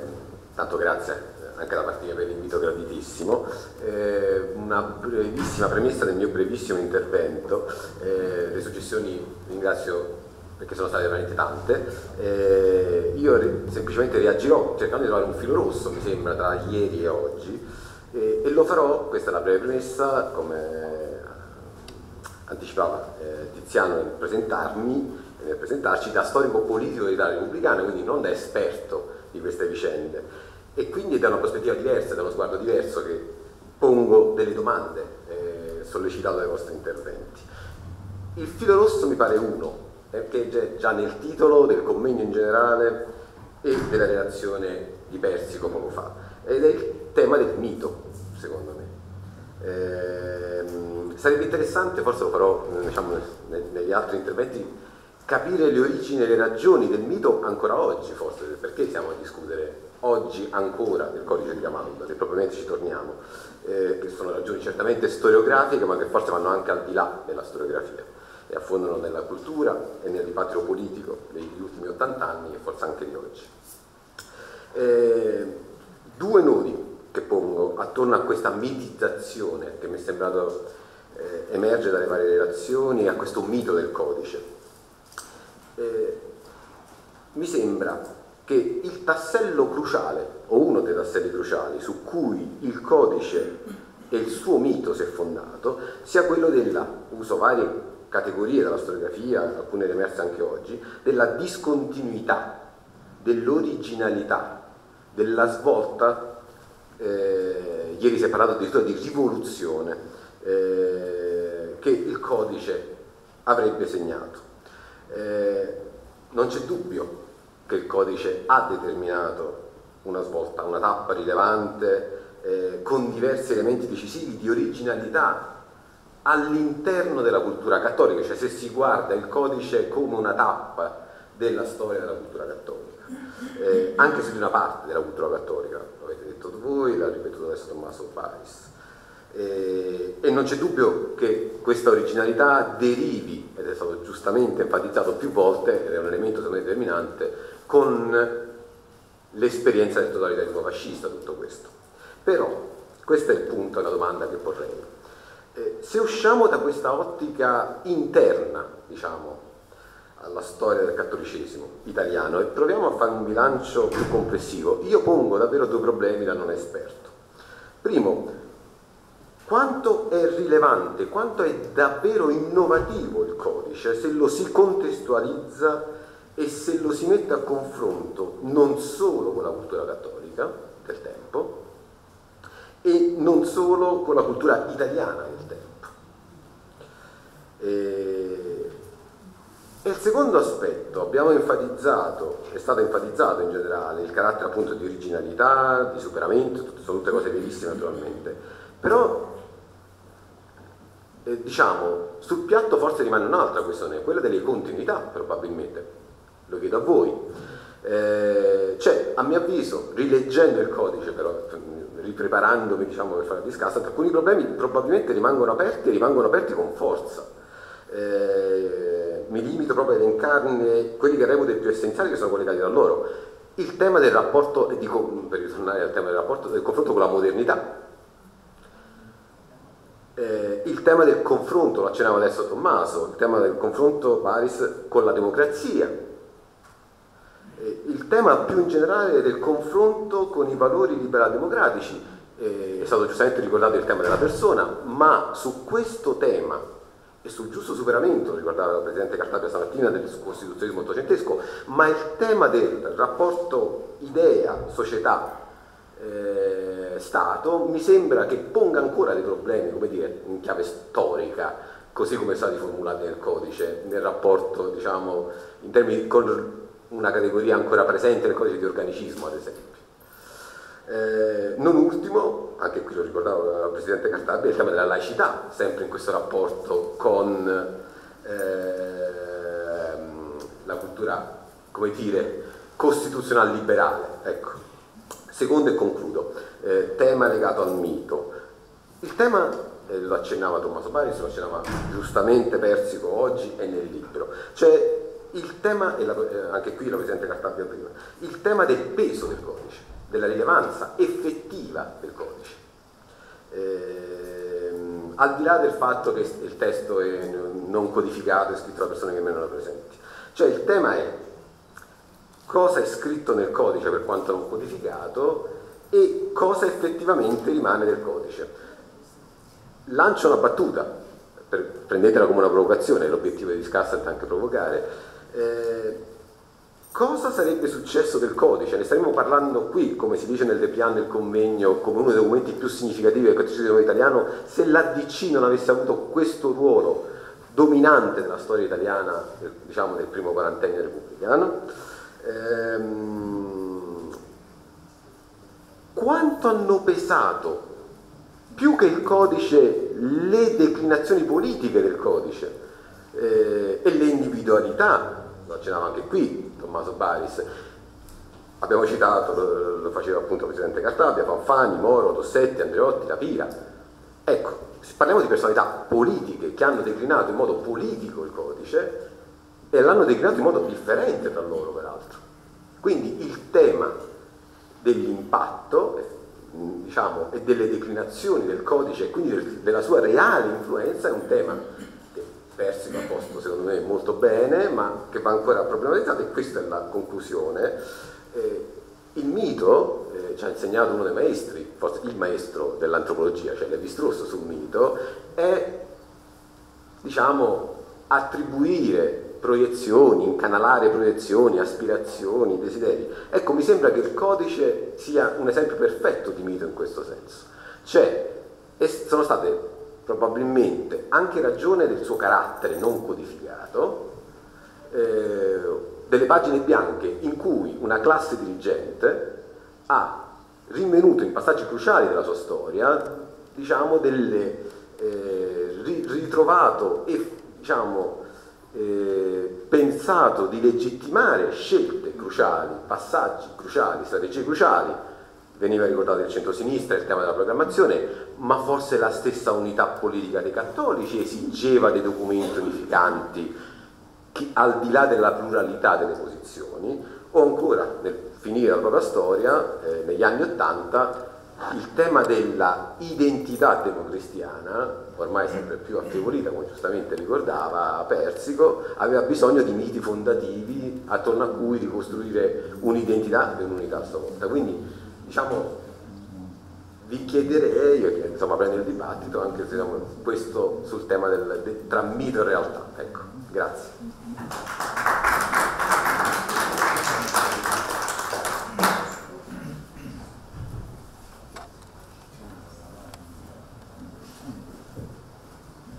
Buongiorno, anch'io mi associo, sono Guido Bambini, anch'io mi associo ai ringraziamenti per l'invito e anch'io ammetto di non essere un esperto, è il mio un punto di osservazione eh, che viene da fuori. Allora, eh, il primo elemento di riflessione che mi, hanno, che mi ha suscitato questa, che hanno suscitato queste prime due giornate di, di studio, ehm, quale passato avevano in testa i partecipanti al convegno di Camaldoli? Perché mi pongo questa domanda? Eh, perché eh, riandando a ragionare sulla storiografia che si è occupato del codice di Camaldoli, anche lì dove questa riflessione non è stata esplicita, eh, emergeva, penso ad autori come Guido Verucci o lo stesso Pedro Scoppola, ehm, ehm, emergeva molto esplicitamente una preoccupazione dei partecipanti alle giornate di Camaldoli, non soltanto riguardo al fascismo, che non veniva percepito in realtà come un passato remoto, ma come un presente su cui tornerò. Eh, il passato a cui si faceva riferimento come preoccupazione, in particolar modo eh, alla ridefinizione del rapporto tra eh, economia e società, era l'Italia prefascista. dove eh, la preoccupazione era un ritorno a quell'Italia liberale prefascista che sembrava nella preoccupazione di alcuni partecipanti eh, mh, aver eliminato qualsiasi eh, livello, cioè di corpo intermedio tra società, economia e Stato, che invece eh, i partecipanti alle giornate di Camaldoli in qualche modo riproponevano in una riformulazione, questa volta eh, in, diciamo, instradata verso una reinterpretazione democratica. Da questo punto di vista il fascismo lascia un'eredità molto ambigua, perché eh, si, apre, si dovrebbe aprire qui una, una, una parentesi, il fascismo un po' il grande, mi sembra in questi due giorni, un po' il grande elefante nella stanza, cioè è, è, è, presente, è, presente, come eh, lascito estremamente ambivalente e ambiguo. Certo che i partecipanti eh, alle giornate di Camaldoli si pongono il problema di come riformulare il rapporto tra uomo e Stato con l'eredità lasciata dal totalitarismo, un'eredità verticale, quasi a trasmettere un punto di vertigine, ma il fascismo è anche grosso modo il regime che nel corso dei suoi vent'anni ha riformulato attraverso la costruzione di una società dove è pieno di corpi intermedi il rapporto tra uomo e società. E d'altronde la storiografia che si è occupata della transizione eh, dal fascismo alla democrazia, che in realtà è una transizione duplice, cioè una transizione dalla monarchia alla democrazia, parlava esplicitamente di cosa? Del problema della successione democristiana, diciamo, della successione cristiana al fascismo. Allora lì c'è un, c'è un, enigma in qualche modo, un enigma che secondo me ancora non è stato sciolto definitivamente, cioè della tempistica, perché è chiaro che il rapporto, il ripensamento della democrazia all'interno della cultura cattolica non è così repentino, non lo possiamo secondo me declinare no? in pochi anni, dal 42 al 45, dove diciamo, gli eventi bellici, il crollo del fascismo hanno accelerato questo tipo di riflessione. Evidentemente c'è un fiume carsico che attraversa la storia del cattolicesimo italiano e che diciamo,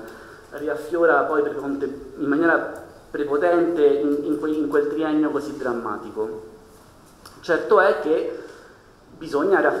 eh, riflettere poi sugli strumenti con cui dobbiamo interrogare quelle culture, quelle culture cattoliche rispetto questo, al problema della successione. Era un po' quello che accennava Tommaso Baris, quella, quella, quel processo e quello sbocco verso la democrazia non è così scontato. Non lo, scont- non lo sarà così scontato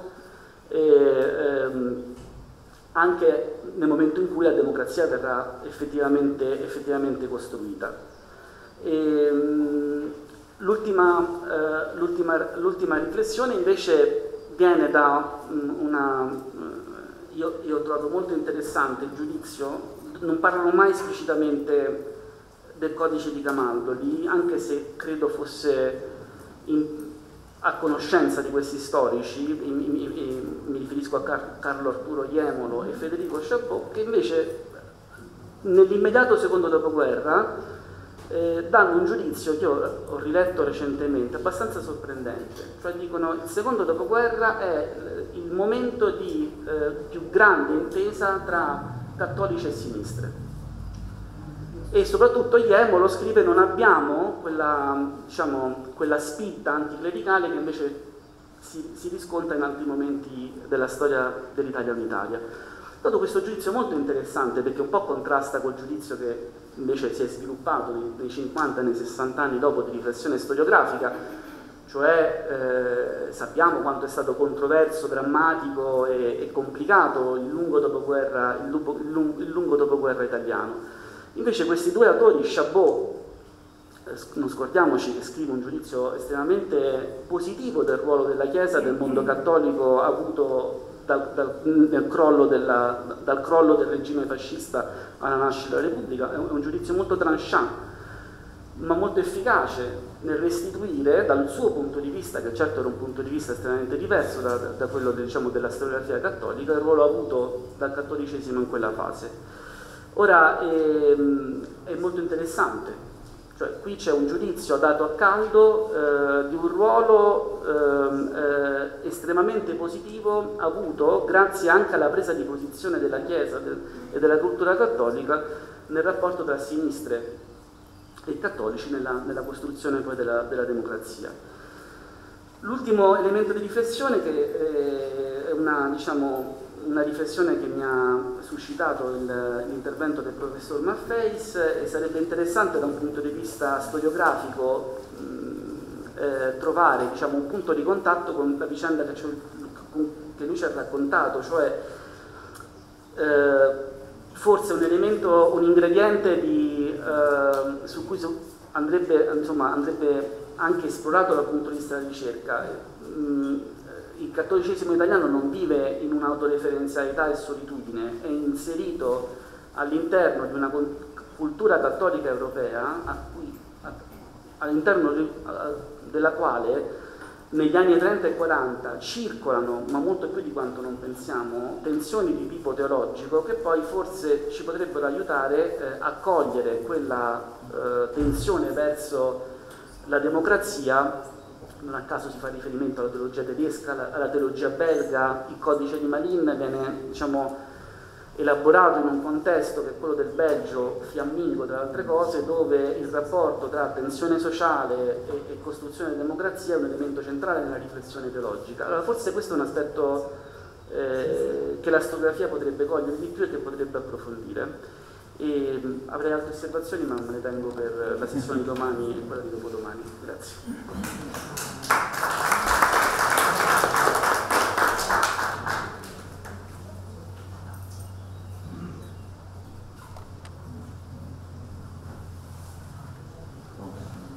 Buongiorno a tutte e a tutti, siamo credo tutti un po' stanchi, però mi perdonerete se eh, dico anch'io qualche parola. Eh, intanto ringrazio eh, la relatrice e i relatori, ringrazio per l'invito a questo uh, momento molto importante secondo me di riflessione. Importante perché probabilmente ci dà anche no, lo stimolo a provare ad andare oltre quello che è già stato scritto ed è già stato detto sul codice, eh, sulla sua eh, redazione. Abbiamo qui naturalmente eh, il dottor Persico che ha scritto un libro su questo. E allora io provo a lanciare eh, un intervento un po' tecnico, ma eh, che vuole essere insomma,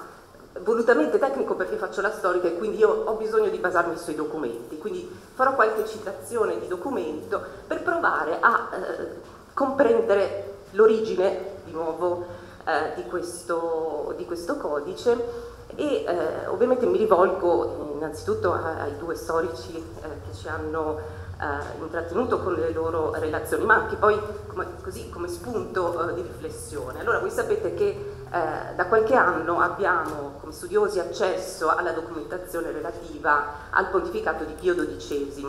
eh, che è stata aperta diciamo, nel 2020, poi chiusa per la pandemia, eccetera. Insomma, finalmente abbiamo la possibilità di andare a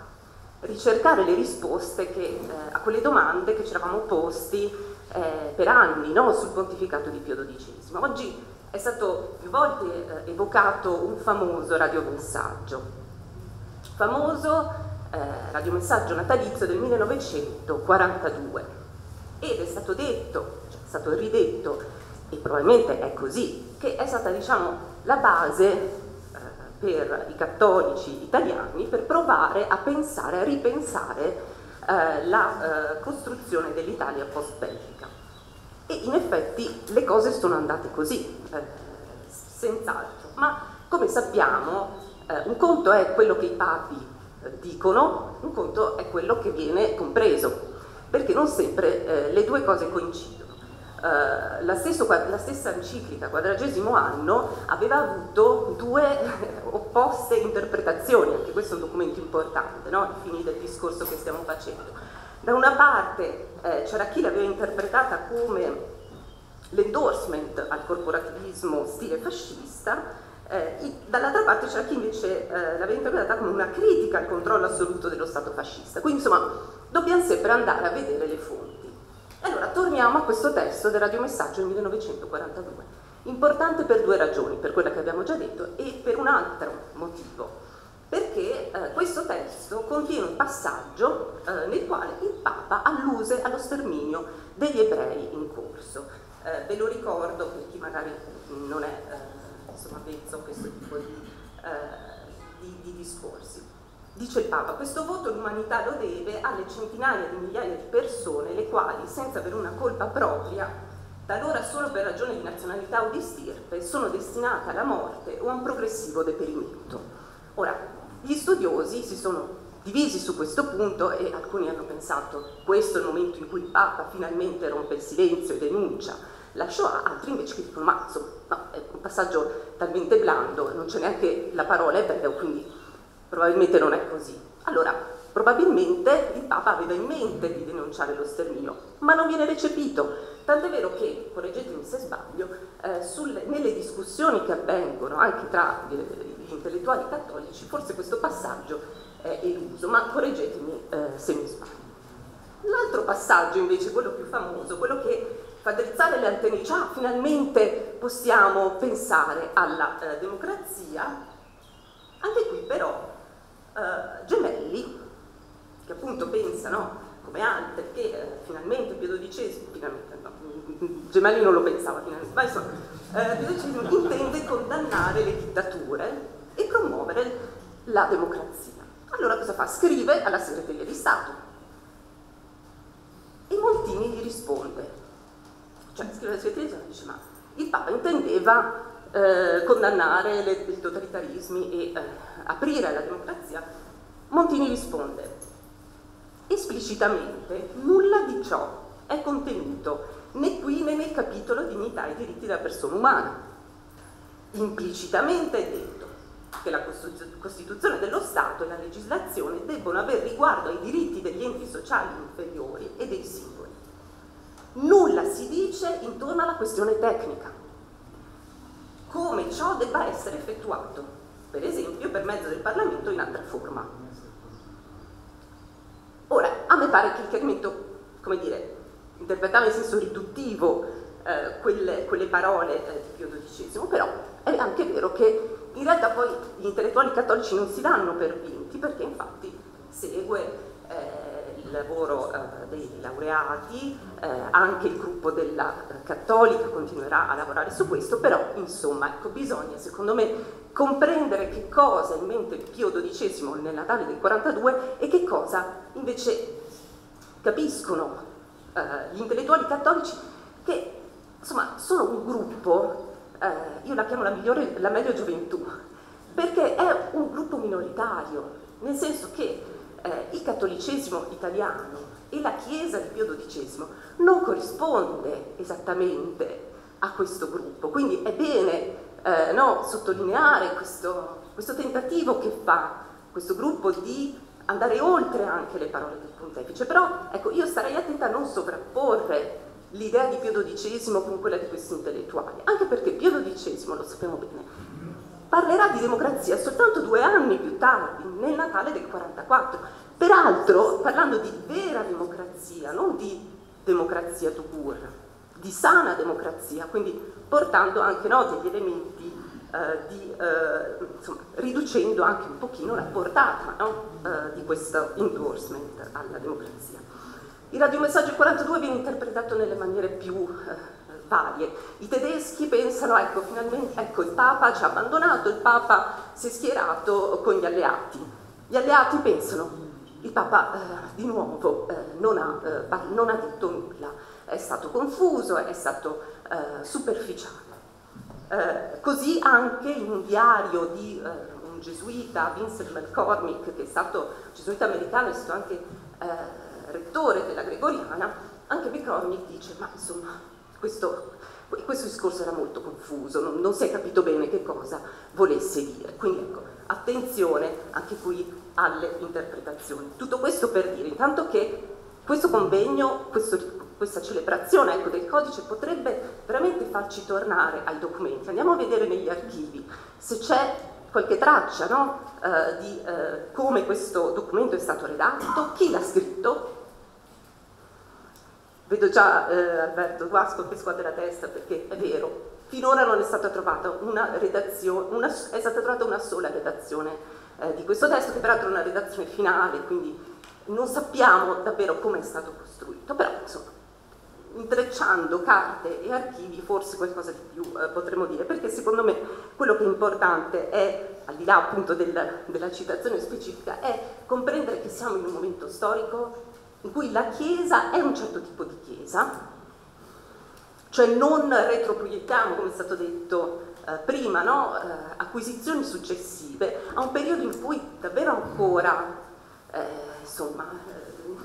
eh, i, i, modelli sono la Spagna di Franco e il Portogallo di Salazar, quindi insomma mh, io voglio essere anche un po' eh, provocatrice in questo senso, non adagiamoci appunto a quello che di bello poi è stato costruito, ma proviamo ad andare a vedere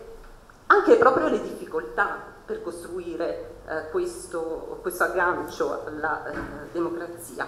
E, mh, avrei altre cose, ma magari, eh, visto che c'è un eh, un'altra sessione il pomeriggio, eh, avrò modo di intervenire. Comunque grazie per queste splendide relazioni e grazie per la vostra pazienza.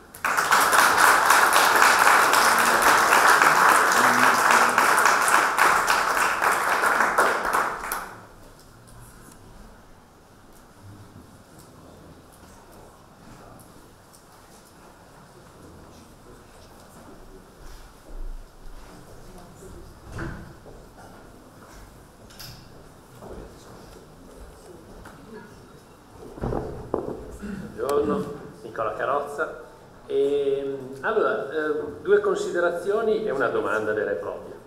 Le due considerazioni sono molto un po' più spontanee anche rispetto agli interventi più illustri. Eh, dei giovani si trovano a Camaldoli e dei giovani che apparentemente non hanno un partito dietro, non hanno denaro e non sanno neanche che cosa li aspetta, cioè non, non sanno non è che stanno pensando alla costituzione di qualcosa, ci sono le bombe a Roma, eh, c'è la guerra in corso, quindi diciamo la, la cosa bella apparentemente insomma anche da, dai vostri interventi e da quello che, che, ho ascoltato è che dei giovani che non fanno calcoli su quello che, che sta succedendo in qualche modo possono cambiare il mondo, cioè è una lezione all'oggi, alla contemporaneità anche a, a, ad oggi. Ehm, rispetto anche all'intervento della, della professoressa Cartabia ecco, e, de, e, e, di Guasco. Ecco, un, un, tema che mi è sono stati citati i tanti documenti che i cattolici italiani in quella fase preparano Milano, ma lo stesso eh, la parola ai democratici cristiani, demofili, insomma tutti i vari documenti. Ecco, una novità è, è, è forse il salto di qualità del metodo, cioè nel senso quest'idea delle commissioni, del, del, relatore e poi di un gruppo ristretto che scrive, in, in, questo, in questo metodo possiamo vedere qualcosa rispetto poi alla Costituente? E poi l'ultima domanda è, nel codice non si parla in effetti di, un, non, non c'è un aspetto ancora costituente, no? non si parla ancora di un cambiamento, ma e, e i cattolici forse fino a quel momento il tema istituzionale non se l'erano posto. Era avvisabile in quel momento, durante il, nel 43 del codice, l'idea di un cambio e quindi di un processo che porti ad una repubblica? Grazie. Se a questo posso forse cercare di rispondere io. Io direi di sì che si parla già di costituente, scusate. Eh, se vogliamo, io ho letto in quelle poche parole che ho detto all'inizio che uno dei contenuti è l'adozione di una Costituzione e di una Costituzione rigida. Questo c'è scritto nel codice, eh? non è che c'è scritto nelle cose che poi verranno scritte nel 46, ma vorrei aggiungere anche un'altra cosa che non ho detto stamani e che non si può dire tutto. Eh, è documentato ormai in modo assolutamente pacifico che Paronetto ha collaborato con De Gasperi dialetticamente negli anni 42-43 a Roma eh, anche nella elaborazione dei primi grandi documenti clandestini ancora della DC, ivi compreso un famoso documento che comincia dicendo che eh, il fascismo ha distrutto oh, i diritti e che la prima cosa che bisognerà fare sarà che il popolo, attraverso un'assemblea, fissi nuovi principi costituzionali. Cioè l'idea della Costituente non, è, non si chiamava Assemblea Costituente, voglio dire. Poi verrà chiamata Assemblea Costituente nel giugno 40, dal giugno 44 con la prima Costituzione provvisoria. Cioè non è che l'Assemblea Costituente non esisteva la prospettiva eh? e che quindi si parlava vagamente. No, si parlava, certo, in termini ancora estremamente difficili. Io devo dire, scusate, io ricordo sempre cose di, di Giorgio Lapierre, eh, perché ho dovuto ripassare molte letture di Giorgio Lapierre negli ultimi anni. Eh, eh, Giorgio Lapierre intanto è perseguitato, si può dire, è individuato in modo esplicito dalla polizia fascista a Firenze gli fanno chiudere prima principi, poi lo attaccano per una settimana eh, cattolica fatta all'inizio del 43. Poi dopo la caduta, che anche questo poi va tenuto presente, dopo il 25 luglio e dopo l'8 settembre, eh, Giorgio Lapina viene chiamato, o meglio, dopo il 25 luglio, eh, la Pira viene chiamato, eh, mentre eh, Mussolini è ancora arrestato, viene chiamato dal prefetto di Firenze per scrivere due articoli che scrive, due editoriali sulla nazione del popolo, sulla nazione, agosto 43. Proviamo a renderci conto cosa vuol dire agosto 43. Agosto 43 la guerra continua eh, accanto ai nazisti, però non c'è più il regime fascista e lui è chiamato a fare un discorso di pacificazione. Eh, questo discorso, eh, questo articolo è intitolato Responsabilità del pensiero, eh? Traison de Clerc, insomma, qui ci sono colpe degli intellettuali, ci sono anche colpe, colpe dei politici, del, del sistema politico, ma ci sono colpe anche degli intellettuali. E lui dice che responsabilità per tutti noi, lo dice anche a carico suo, lui aveva fatto principi, aveva fatto tante altre cose, che responsabilità, perché non abbiamo retto la degenerazione concettuale che, sta base, che è stata alla base del fascismo. E termina con una famosa affermazione, famosa, famosissima affermazione eh, che eh, lui ripensa all'affermazione di Gesù Cristo che dice guai a voi eh, maestri del diritto, eh? guai a voi, eh, ehm, oh, guai a voi eh, i farisei, guai a voi maestri del diritto, eh? guai, guai, a voi giuristi e, e, e cioè lui si rende addirittura cita Gesù Cristo per dire che ciò che è stato fatto dagli intellettuali italiani fino ad allora era assolutamente pessimo, c'era una responsabilità. Ecco, allora, no, io non vorrei che fosse sminuito troppo il coraggio di questi giovani, 30 persone, eh? meno metà della sala presente, che si mettono lì e, e, scrivono come deve essere rifatta la democrazia. Perché lo scrivono? Perché dicono che ci vogliono le libertà, che ci vuole una Costituzione, che ci vuole una giustizia imparziale, che ci vuole una partecipazione, che ci vuole un'eguaglianza.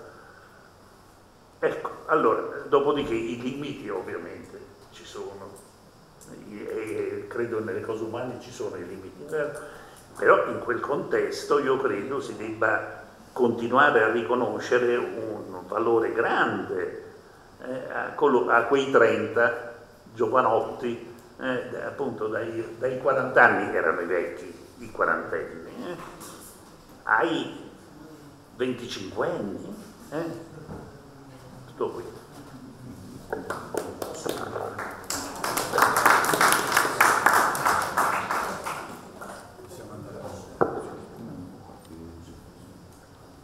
Allora, io rispondo solo a qualcuna delle sollecitazioni, pronunciando probabilmente frasi sconnesse, perché eh, davvero sono tante. Allora, io mi concentrerei sulla questione che è emersa della democrazia, è stata rievocata da, da alcuni, eh, da alcuni discussant, lascio stare il mito perché non, poi la gente è affamata, quindi non parlerò mezz'ora. Allora, secondo me, la prendo un po' alla lontana, la parabola della democrazia assomiglia un po' al funzionamento del motore a quattro tempi, nell'arco di 2500 anni di storia a questa parte. Lo scoppio, quindi la Grecia classica, poi la contrazione, 15 secoli, 16 secoli in cui non se ne parla più, l'espansione, da fine Settecento, ma soprattutto io parlerei di espansione novecentesca, e poi la contrazione, gli ultimi 30 anni, su cui sorvolo a pie pari. E ciò di cui noi stiamo parlando si colloca, si colloca ovviamente nella fase di espansione eh, a cavallo di una guerra che sta finendo e di una seconda metà del secolo che sta, che sta incominciando. Ma è chiaro che questo appartiene a una storia e anche a una storia ecclesiale. Nella storia della Chiesa la democrazia non è un documento, è anche la storia di un'idea. La democrazia o quasi democrazia di cui parliamo non è quella dei tempi di Pio VII all'epoca delle repubbliche democratiche di fine Settecento, non è neanche più l'idea di Leone XIII e di Tognolo sulla democrazia cristiana, è un passaggio che si sta consumando, che alcuni hanno le orecchie più attenti a cogliere, perché Dossetti, ben prima di quando Pio XII la espliciti a livello documentario nel 1944, ha le orecchie attente a cogliere quei segnali, segnali che stanno tutti in quello spazio di comprensione in cui eh, ciascuno ha la libertà di agire a partire dalle proprie convinzioni, chiaramente. Io non so che cosa volesse dire esplicitamente Pio XII, ma quel che voleva dire viene inteso così da alcuni e il modo in cui viene inteso produce vere conseguenze, tra cui anche il codice di Camaldoli. Io non sono stato personalmente in archivio segreto vaticano, eh, ma ho sguinzagliato una mia persona di fiducia per cercare tracce del codice che non ha trovato al momento. Io non so se ci sia nuova documentazione accessibile, magari verrà fuori, magari no poi Raffaele ne abbiamo discusso tante volte di, di, della Chiesa di Pio XII fin da quando eravamo giovani ricercatori a Bologna, ora tu sei sempre giovane, io invece no. E, ehm, comunque, battute a parte, ecco, io la, certamente poi ci sono tutte le, le, le, le, durezze della Chiesa di Pio XII di quel periodo, ma direi che non, qui stiamo parlando d'altro, potremmo mettere certo tutte le questioni della non democrazia in Spagna, in Portogallo, i modelli a cui alcuni guardano, potremmo anche parlare dell'evoluzione invece degli studi biblici, ecumenici, liturgici, e, e mi sfugge sempre il quarto, ma fa niente, quindi so bene che il contesto è questo, però eh, io la vedrei più in questo modo qui. Probabilmente erano parole sconnesse, dopo magari trovano meglio connessione. Se abbiamo esaurito il nostro tempo, vediamo il capo, l'organizzatore capo. E se n'è andato, è fuggito. Io direi che dobbiamo andare per problemi di orologio. E io qui ho un foglio che dice la sessione deve concludersi entro le ore 12. Perfetto.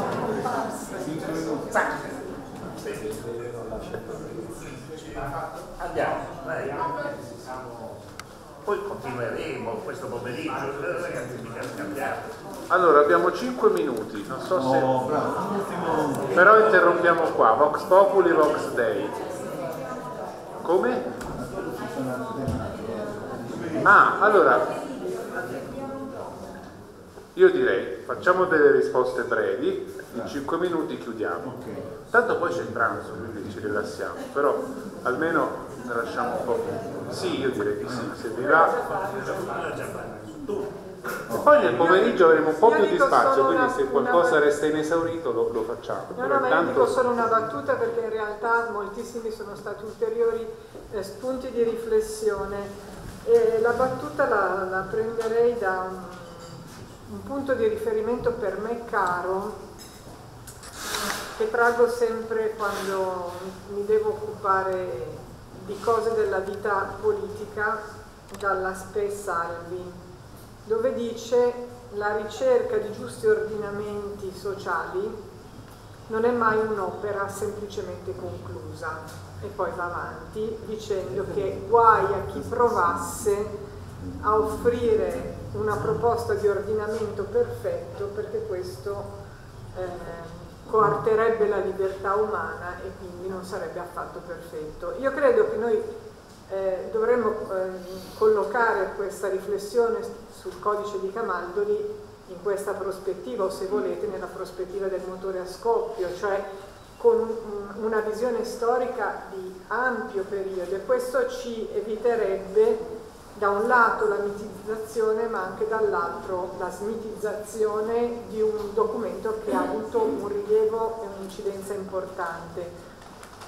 Ci siamo soffermati, ho scelto di, sui, di soffermarmi sui punti di forza non perché non avessi visto certe debolezze, per esempio quelle sulla democrazia, sulla laicità, sull'organicismo, ma perché a me pare che eh, sia utile riflettere su questo documento per chiederci, almeno questa è la prospettiva non dello storico ma del costituzionalista e di chi vive un servizio alle istituzioni, al nostro paese oggi, su cosa ci lascia, tra le altre cose anche quella riflessione sul metodo che è stata fatta da ultimo, sul metodo anche delle modalità di lavorare eh, sicuramente sono uno di questi. Insomma, un codice che forse ha tra i suoi punti di forza proprio la sua imperfezione su tanti temi e la sua incompiutezza perché era un trampolino per un lavoro che sarebbe poi stato svolto tutto nel futuro. Grazie.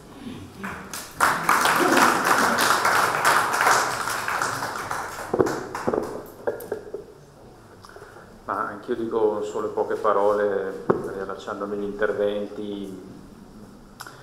precedenti. Eh, intanto mh, se vogliamo capire il testo, secondo me dobbiamo collocarlo molto bene, non solo nel luglio del 43, ma anche nell'agosto e nel settembre. Cioè è un momento in cui si apre, e poi si chiude rapidamente, una finestra di democrazia, almeno così viene vissuta anche dalla base cattolica, cioè dal cattolicesimo organizzato è un momento in cui non si capisce bene dove si andrà a finire, perché Mussolini è arrestato, è tutto molto magmatico, tutto molto um, in, in fieri.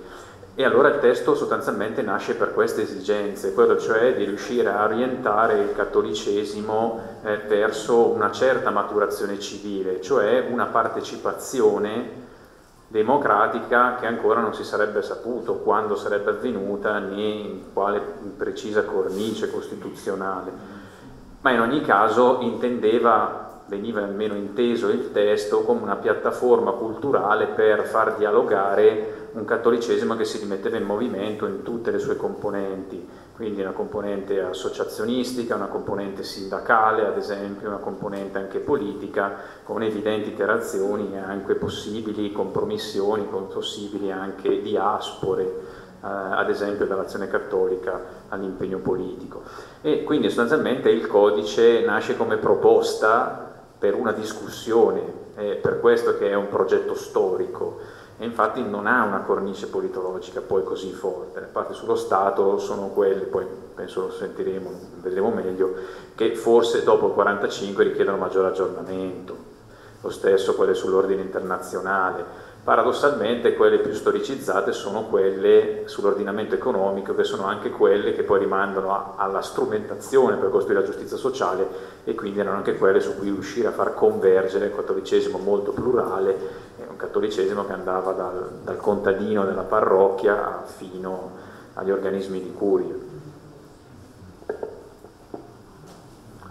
Qualche anno fa ho proposto un corso sulla teologia davanti al totalitarismo negli anni 30, perché mi intrigava questo problema, perché si sono lasciati affascinare questi teologi dal, nazismo. Il nostro Adam aveva qualche simpatia nel 1933.